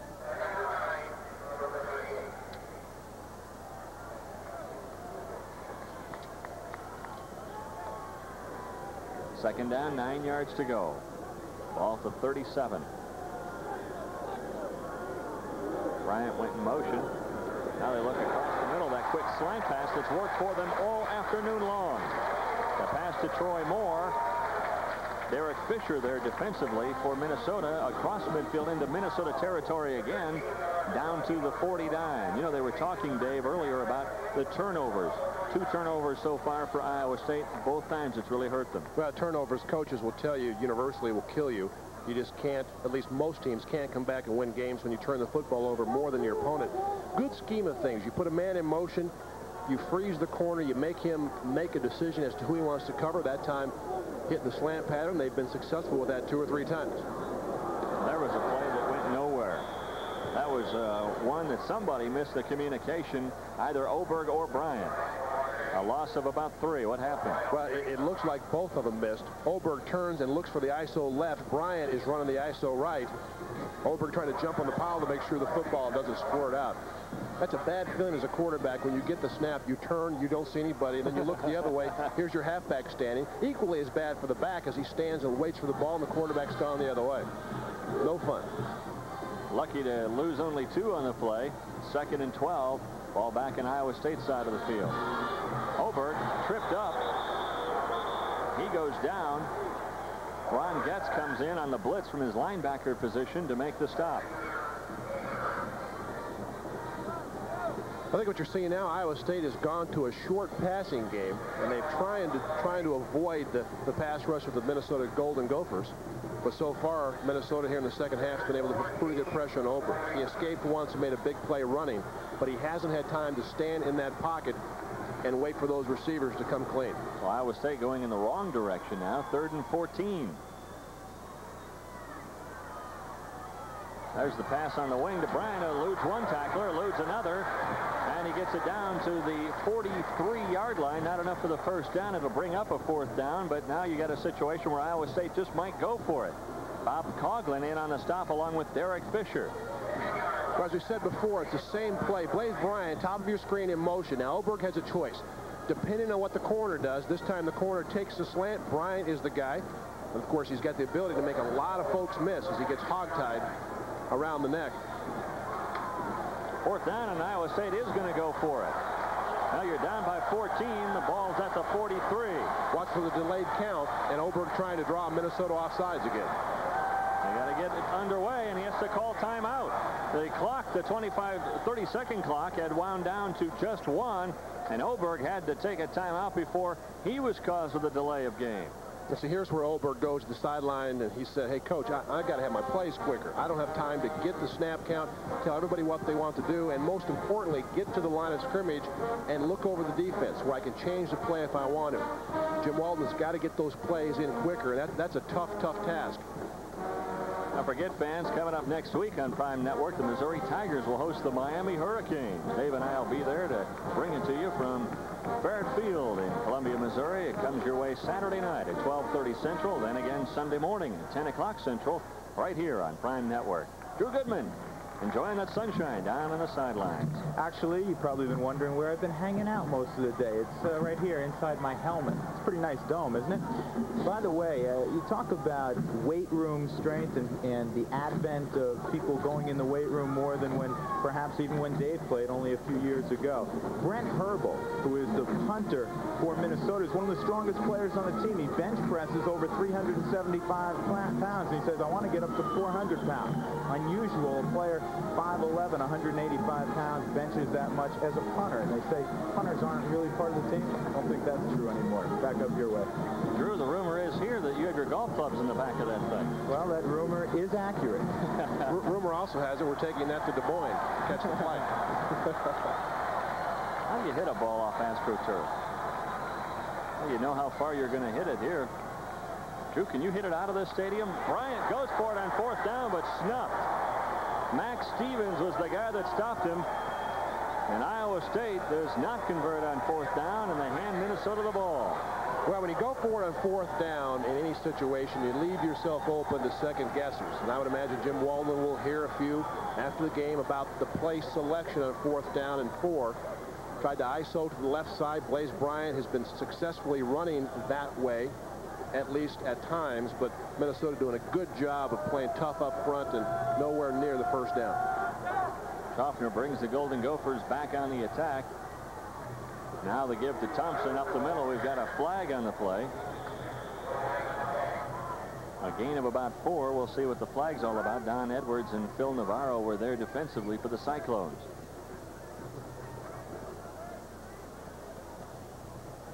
Movement on the Minnesota line. there goes Drew. Drew, come back. Uh, he, he's got that tea time to make. he's got that airplane to catch. So, uh, big loss there after a gain of three. The five-yard penalty it really makes it a, a loss of eight, and it's first and 15. And again, those penalties rear their ugly head. Look at Schaffner. That's, I mean, that's outstanding. Schaffner has really just thrown the ball all over the long, short. He's pretty much had it his way. The draw play to Thompson. He's got some room now trying to get outside, and he does.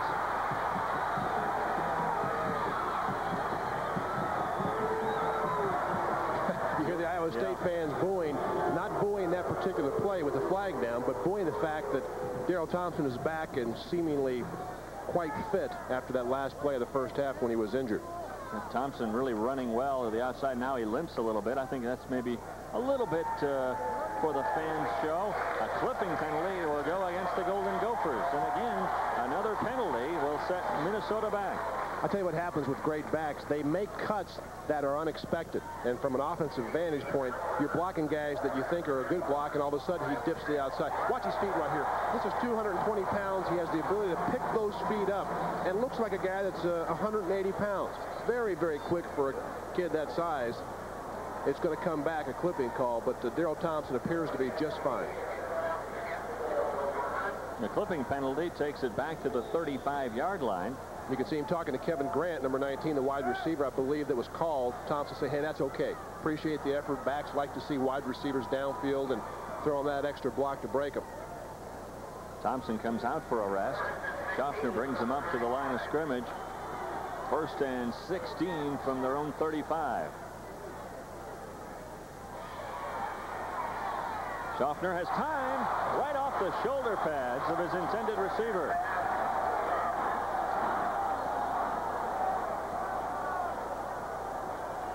David Shoemaker had it right in his sights but couldn't hang on. I believe it's Kevin Grant again. You'll see Grant trying to turn upfield. You're right. And it pops out. Grant's had kind of a tough series. He gets called for the clip and then oh. tries to gain two or three extra yards, but does so without the most important thing. And that, of course, the football. That might have been a play where Schaffner was trying to give Grant some confidence, and he might have taken some away. Second and 16. There they go long again, and it goes out of bounds.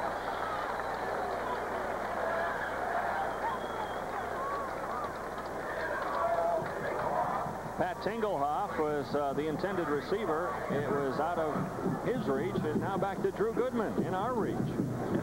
Somewhat. By the way, uh, any of you guys seen my wedge? Did somebody take it out of my hotel room this morning? Uh, more importantly, David Shoemaker, the tight end, transfer from Oklahoma. And he said that the linebacking core, Brian Bosworth, Dante Jones, when he was at Oklahoma a couple years ago, the linebacking core the Gophers have right now, every bit as good, if not better. Interesting statement. Leverenz is an outstanding one, though, for the Golden Gophers. Third and 16, big play for Iowa State's defense, and look at him come. Melvin Coleman comes up from his linebacker position on the blitz.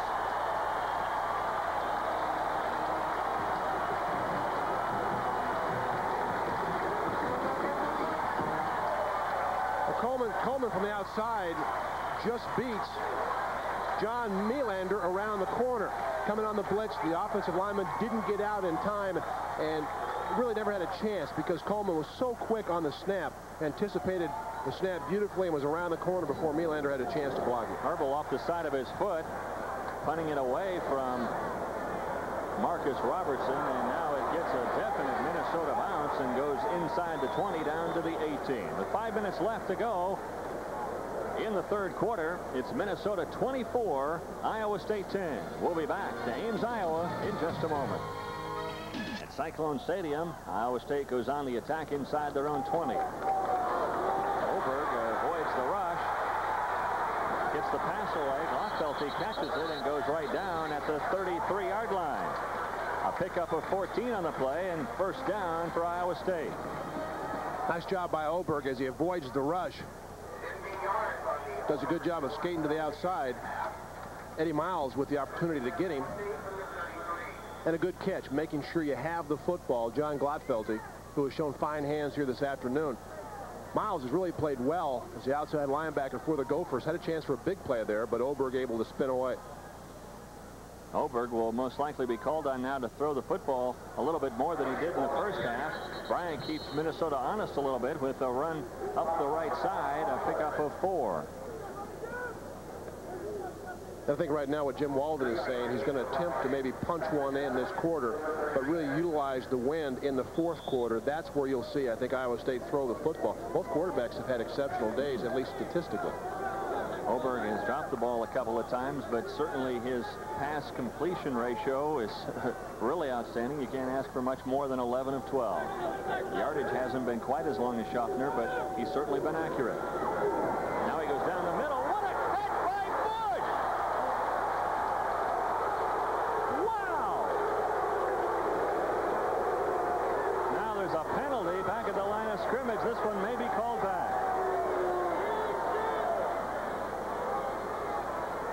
Receivers hate to see that flag, especially after catches like this. Oberg looks off the safety. That's a terrific catch. Fred Foggy makes a play on the ball and is actually there in time to make the interception, but I don't think he figured Mike Busch could make that catch.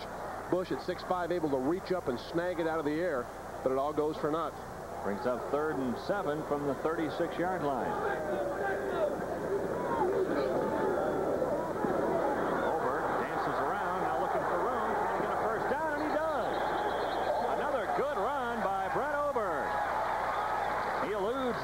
of John Leverenz and gets out of bounds to stop the clock with 3.48 left to go in the third quarter. Cyclones are moving. You can see Brett Oberg is much more comfortable this year in the starting assignment. He was there every game last year, but after only four weeks of practice was named the starter. Got good composure. He realizes the down and distance. And right now he knows he's headed for that sideline and looking for that red marker. And you see him tip right over it and out of bounds. First and 10 for Iowa State at the 43-yard line. And Bryant trying to go right. Cuts back in. Now he comes the other way. Still no room either way. Picks up about three, though, before Skeeter Ockery gets him down. And now a whistle, a late hit, perhaps by Minnesota. A flag on the play. They might tack on a few more. A face mask called against the Golden Gophers.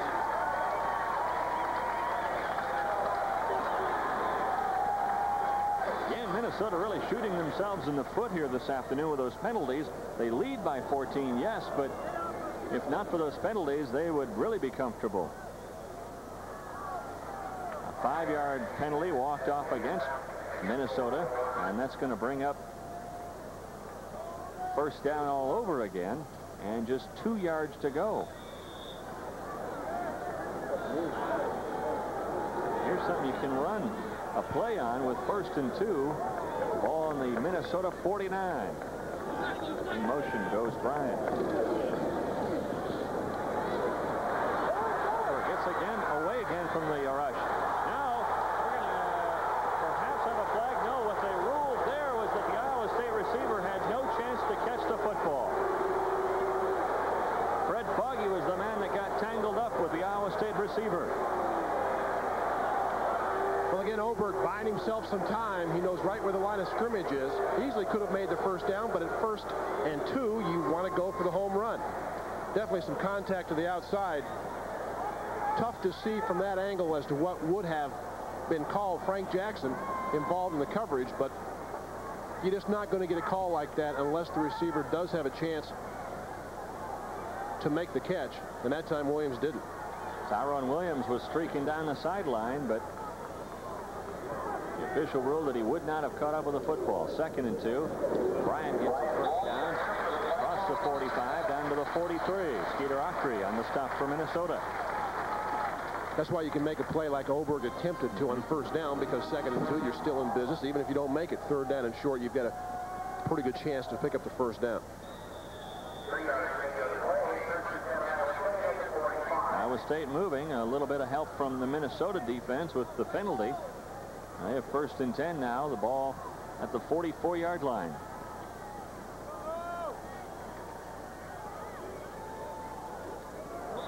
And over pulls him offside. Jumping across there again, Bob Coughlin.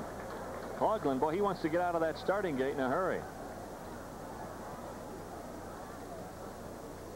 That's the second time that Coughlin's been drawn offside. And that brings up a first and five. A lot easier to make it on four downs from five yards than it is from 10. I'll tell you what, a lot easier to select the play that you're going to use, two first and five. Advantage clearly to the offense. You can throw the ball deep. You can do just about anything as an offensive coordinator. You can take a chance against the wind of picking up a quick store, score.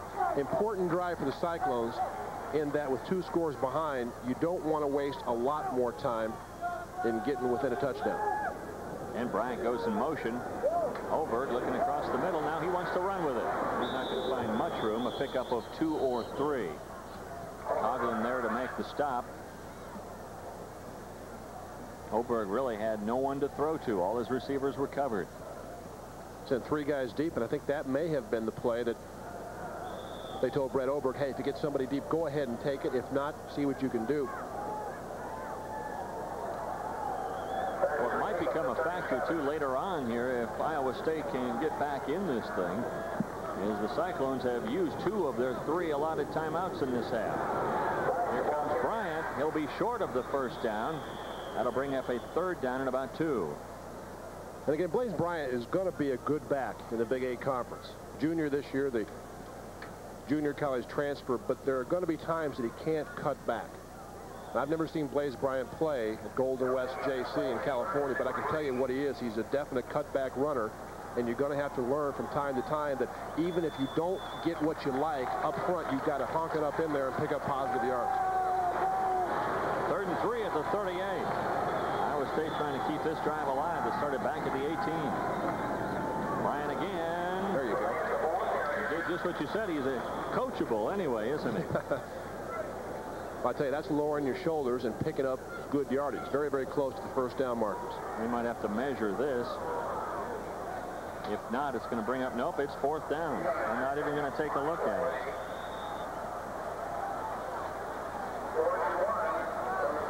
Fourth down and about a half yard. And again, Iowa State's got to go for it here. Down 14 with the clock ticking towards the end of the third quarter. The last fourth down try came at fourth and five. Blaise Bryant over to the left side. We'll see what Walden calls. Bryant again over the left side. I think he just barely got it. He fell over the line of scrimmage to pick up the first down and keep Iowa State's drive going. Max Stevens made the stop for Minnesota.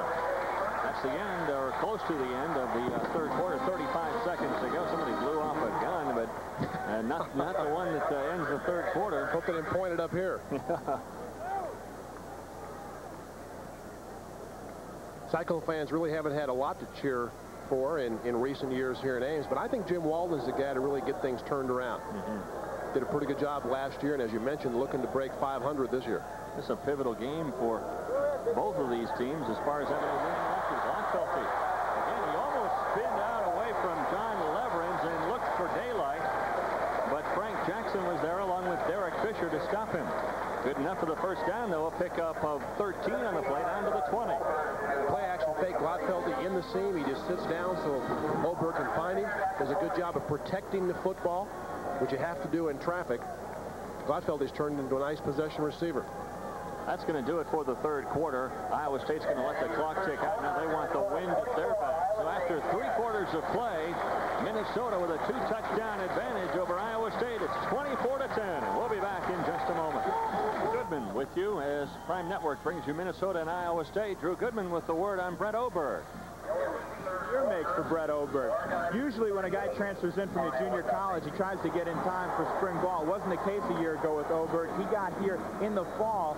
He was practicing about three, three and a half weeks when the starter, the incumbent, Derek DeGennaro, went down. Well, he didn't even know his offensive lineman that well, so in the huddle, he had to call him by number. He said, hey, 69, you got to block on the outside a little bit better for me. I think a year later, he knows them all. First name, middle name, last name. He's doing a pretty good job. It certainly is. First and 10 for the Cyclones at the 20-yard line. The Cyclones start their attack here in the fourth quarter with the wind at their back the rest of the way. The pitch back to Bryant. There you go. Whistle out of bounds and a flag looks like a face mask. Leverenz got in and put a little leverage on the face mask. Good job in the power toss that time. You see Blaise Bryant excited about it makes a dip to the inside, which will freeze the inside pursuit, and Bryant will be able to scoot around to the outside. Just little subtleties you can pick up with very good running backs, and Blaise Bryant is that. Face mask against Minnesota. That's going to take the ball down to the seven-yard line. If they rule it a five-yard penalty, that's down to the six-yard line. Oberg comes in from the sideline. He's got the play he wants. First and goal from the six.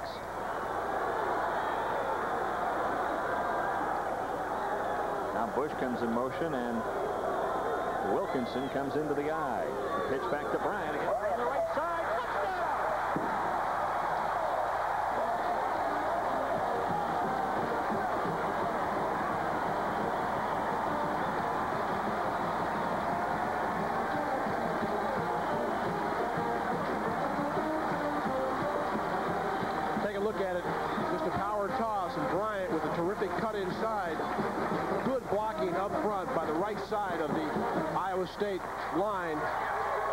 You see red jerseys really doing an excellent job of staying on top of Minnesota at the point of attack, and Blaise Bryant untouched to the end zone. Shudak will attempt the extra point. Good snap, good hold, good. And with 14.51 left to go in the ball game, the Cyclones have pulled to within seven. Our score, the Minnesota Golden Gophers 24, Iowa State 17. We'll be back to Cyclone Stadium in State cheering his troops on. They have pulled to within seven of Minnesota here early on in the fourth quarter. There you see the huddled formation. Jeff Shudak looking out now. They'll fan out. Minnesota relaxes just a little bit. They have all kinds of onside plays in their repertoire. This one will go into the end zone down there, and Minnesota will start their attack at the 20-yard line. Well, it'll be up to the Iowa State defense now, Dave, to see if they can stop the Golden Gophers and give the offense a chance to get back on the field. Well, they've got the crowd back in the game. They've got the wind with them. And certainly equally as important for the Minnesota offense to try to establish something to take this crowd back out. And if nothing else, to gain field position. You don't want your punter to have to kick into the wind deep in your own territory. So if you don't score, that's fine. But at least if you're Minnesota, you want to move the ball, get two or three first downs, and gain field position. Iowa State's players trying to cheer this crowd on. Schaffner goes to back to pass right away. Scrambling around. To Thompson out of his hands. Incomplete, second and ten. It's amazing what momentum will do in a football game. That's a play you just have to make. If you're Darrell Thompson, gifted kid, but you've got to make a catch like that at first down yardage in front of him wide open. And Schaffner doing a good job of stepping out. Thompson just couldn't catch it. Second and 10 from the 20-yard uh, line for Minnesota. And now it looks like Schaffner might be hurt just a little bit. Schaffner favoring his knee, and that'll bring in Marquel Fleetwood, a freshman out of Decatur, Georgia.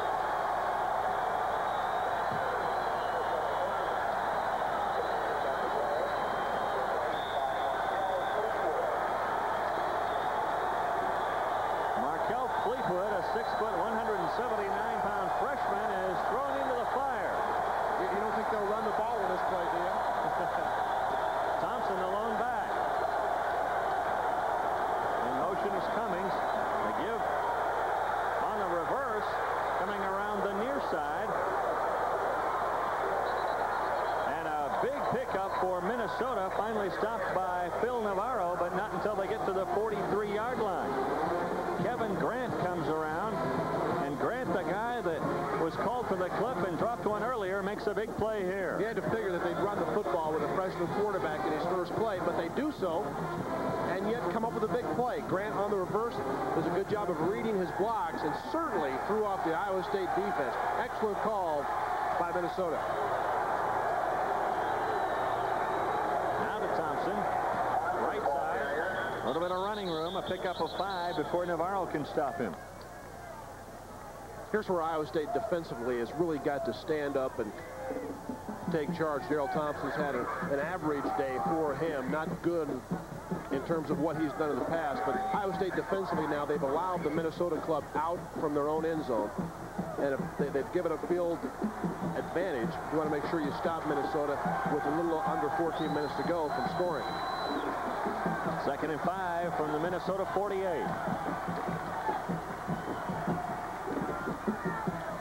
Give again to Thompson, running hard around the right side and good enough for the first down inside Cyclone territory, down to the 42-yard line. Marcus Robertson stopped him there, but some good hard running by Darrell Thompson. And again, they've taken the crowd out of it here in Ames. I think any head coach would tell you that if you have a lead in the fourth quarter, the one factor that you would love to enjoy is a big, strong running back that can pick up tough yards. Darrell Thompson's a guy that's proven over his career of having the ability to pick up tough yardage. So far, Minnesota has not missed a step since the freshman Marquel Fleetwood came in. Again, when you have a guy like Thompson, though, running it, it makes the quarterback's job easy. Thompson goes around for 11 yards and another first down to the 31. Marquel Fleetwood will be a good quarterback in time, but this is easy enough. All you have to figure out is where Darrell Thompson is going to be. Just let the big fella run up in there. You can see him running behind excellent offensive blocking. The Rozak doing a good job up front. Minnesota's offensive line really establishing themselves this drive. And Iowa State has got to tighten up that run defense, especially with the young quarterback in. You don't think they're going to throw the ball. Minnesota now close to field goal territory. Thompson again. Not stopped until a pickup uh, down to the 18-yard line. Tim Baker finally got it. Well, all week long Minnesota folks has talked, they've talked about this extra gear that Thompson has when he sees daylight. There it is. One of the few times we've seen it this afternoon, but I mean, he saw that hole, and I mean, he just changed gears right in mid-stride. Minnesota definitely now in field goal range at the 17.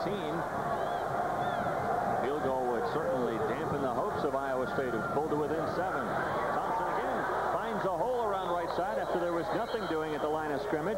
A pickup of seven on the play down to the 10. Again, it's Tim Baker on the stop.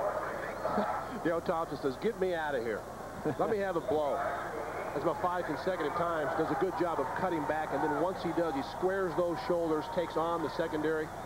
And a 220 is going to be able to run over most safeties in college football. Not quite a first down.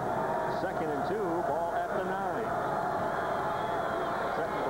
goes into the line, into the 4A, and I think he did pick up enough for the first down. It'll be close. I think he got it. Navarro and Reberg were there defensively for Iowa State. Boy, a touchdown here would really be tough on the Cyclones after coming back with that early touchdown here to start the fourth quarter. Well, they had the crowd back in it, and now all of a sudden Minnesota just jams it down their throat again. It makes it tough because defensively they had them pinned down. Mm -hmm. They had a chance to hold them down and gain great field advantage, and so far they've been unable to do that. They've already given up the field advantage, but they haven't been able to stop them from running the football. Key play on second and 10 from the 20. Kevin Grant goes around on the reverse to take it near midfield. They've been running it ever since. Fleetwood wants to throw. Run it. Now he's going to run it. Tucks it under. It's down to about the three. Travis Block ran him down at about the three-yard line, maybe the two. Good call because you give your young quarterback the option of running the football. And Fleetwood doing a good job of making that decision. Gets outside, doesn't like what he sees. It's right behind J.J. Lennon, and off we go. The ball actually looked like it came loose, but Minnesota was able to recover the fumble. Going to be a good quarterback in his time. Schaffner comes back in. Fleetwood goes out. Schaffner did a good job running the offense for Minnesota. Schaffner back in. Same play, though. The gift to Thompson. Stopped short of the goal line by Tim Baker and Phil Navarro.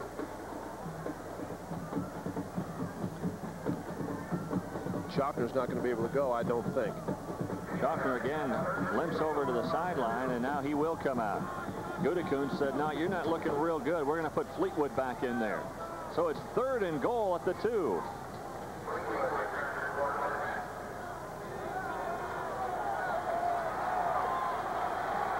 Numbers don't look to be real accurate. We'll get a double check for you. Thompson looking for pay dirt. He's got it. Thompson dives in for the touchdown.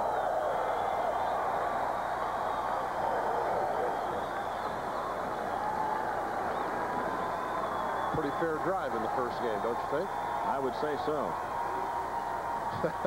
Against the wind, on the road. This team didn't win a game last year away from the Metrodome.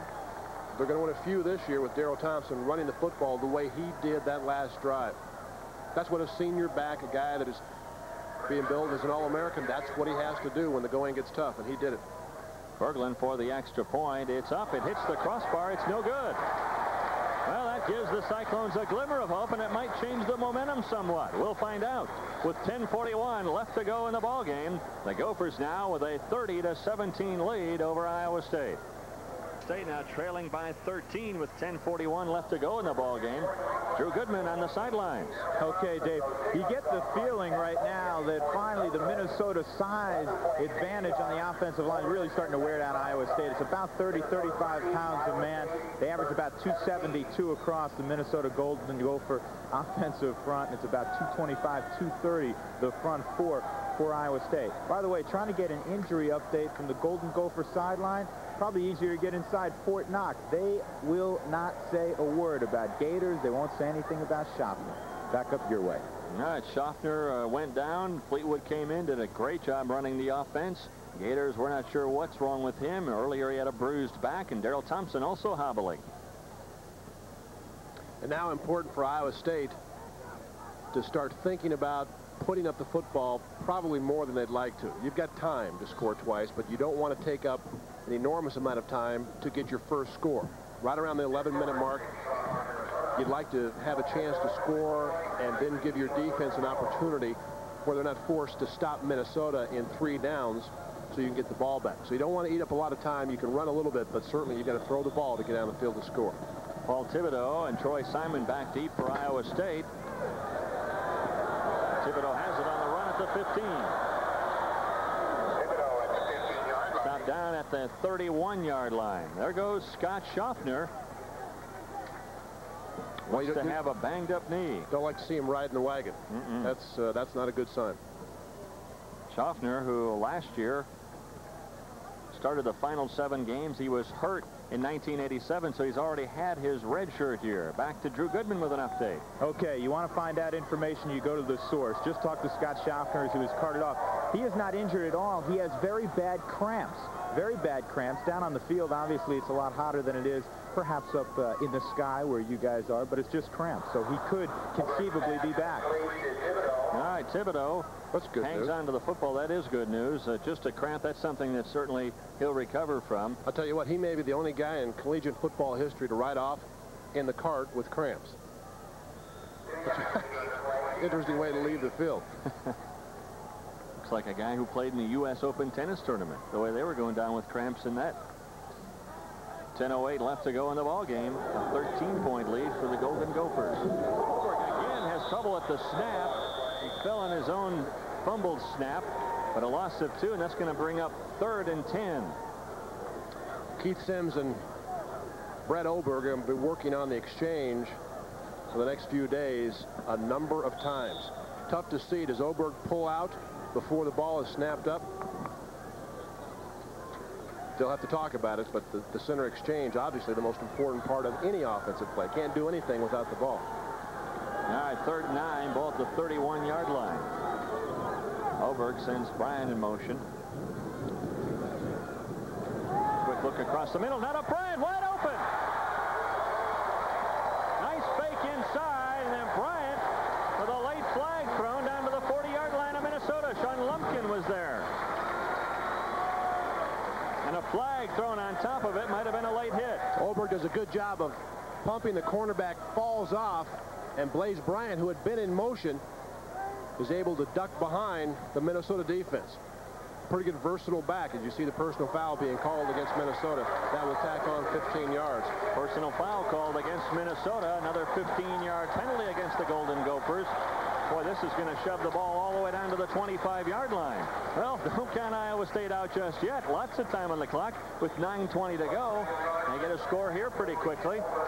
Anything can happen.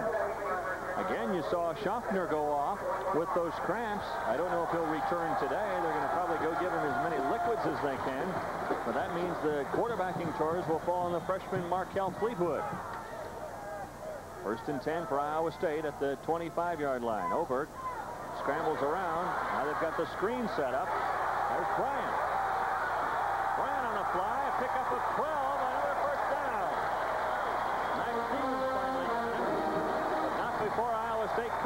with a ball at the 14-yard line. Blaise Bryant, as the one back, will just go the opposite way of Brett Oberg and just kind of get lost.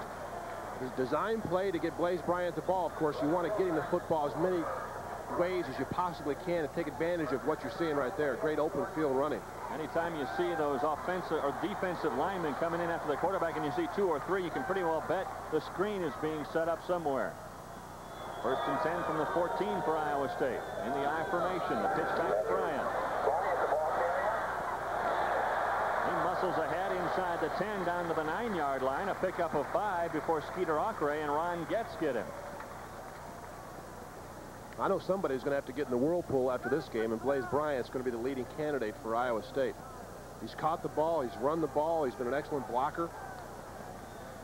And I'm sure it wasn't like this in junior junior college at Golden West.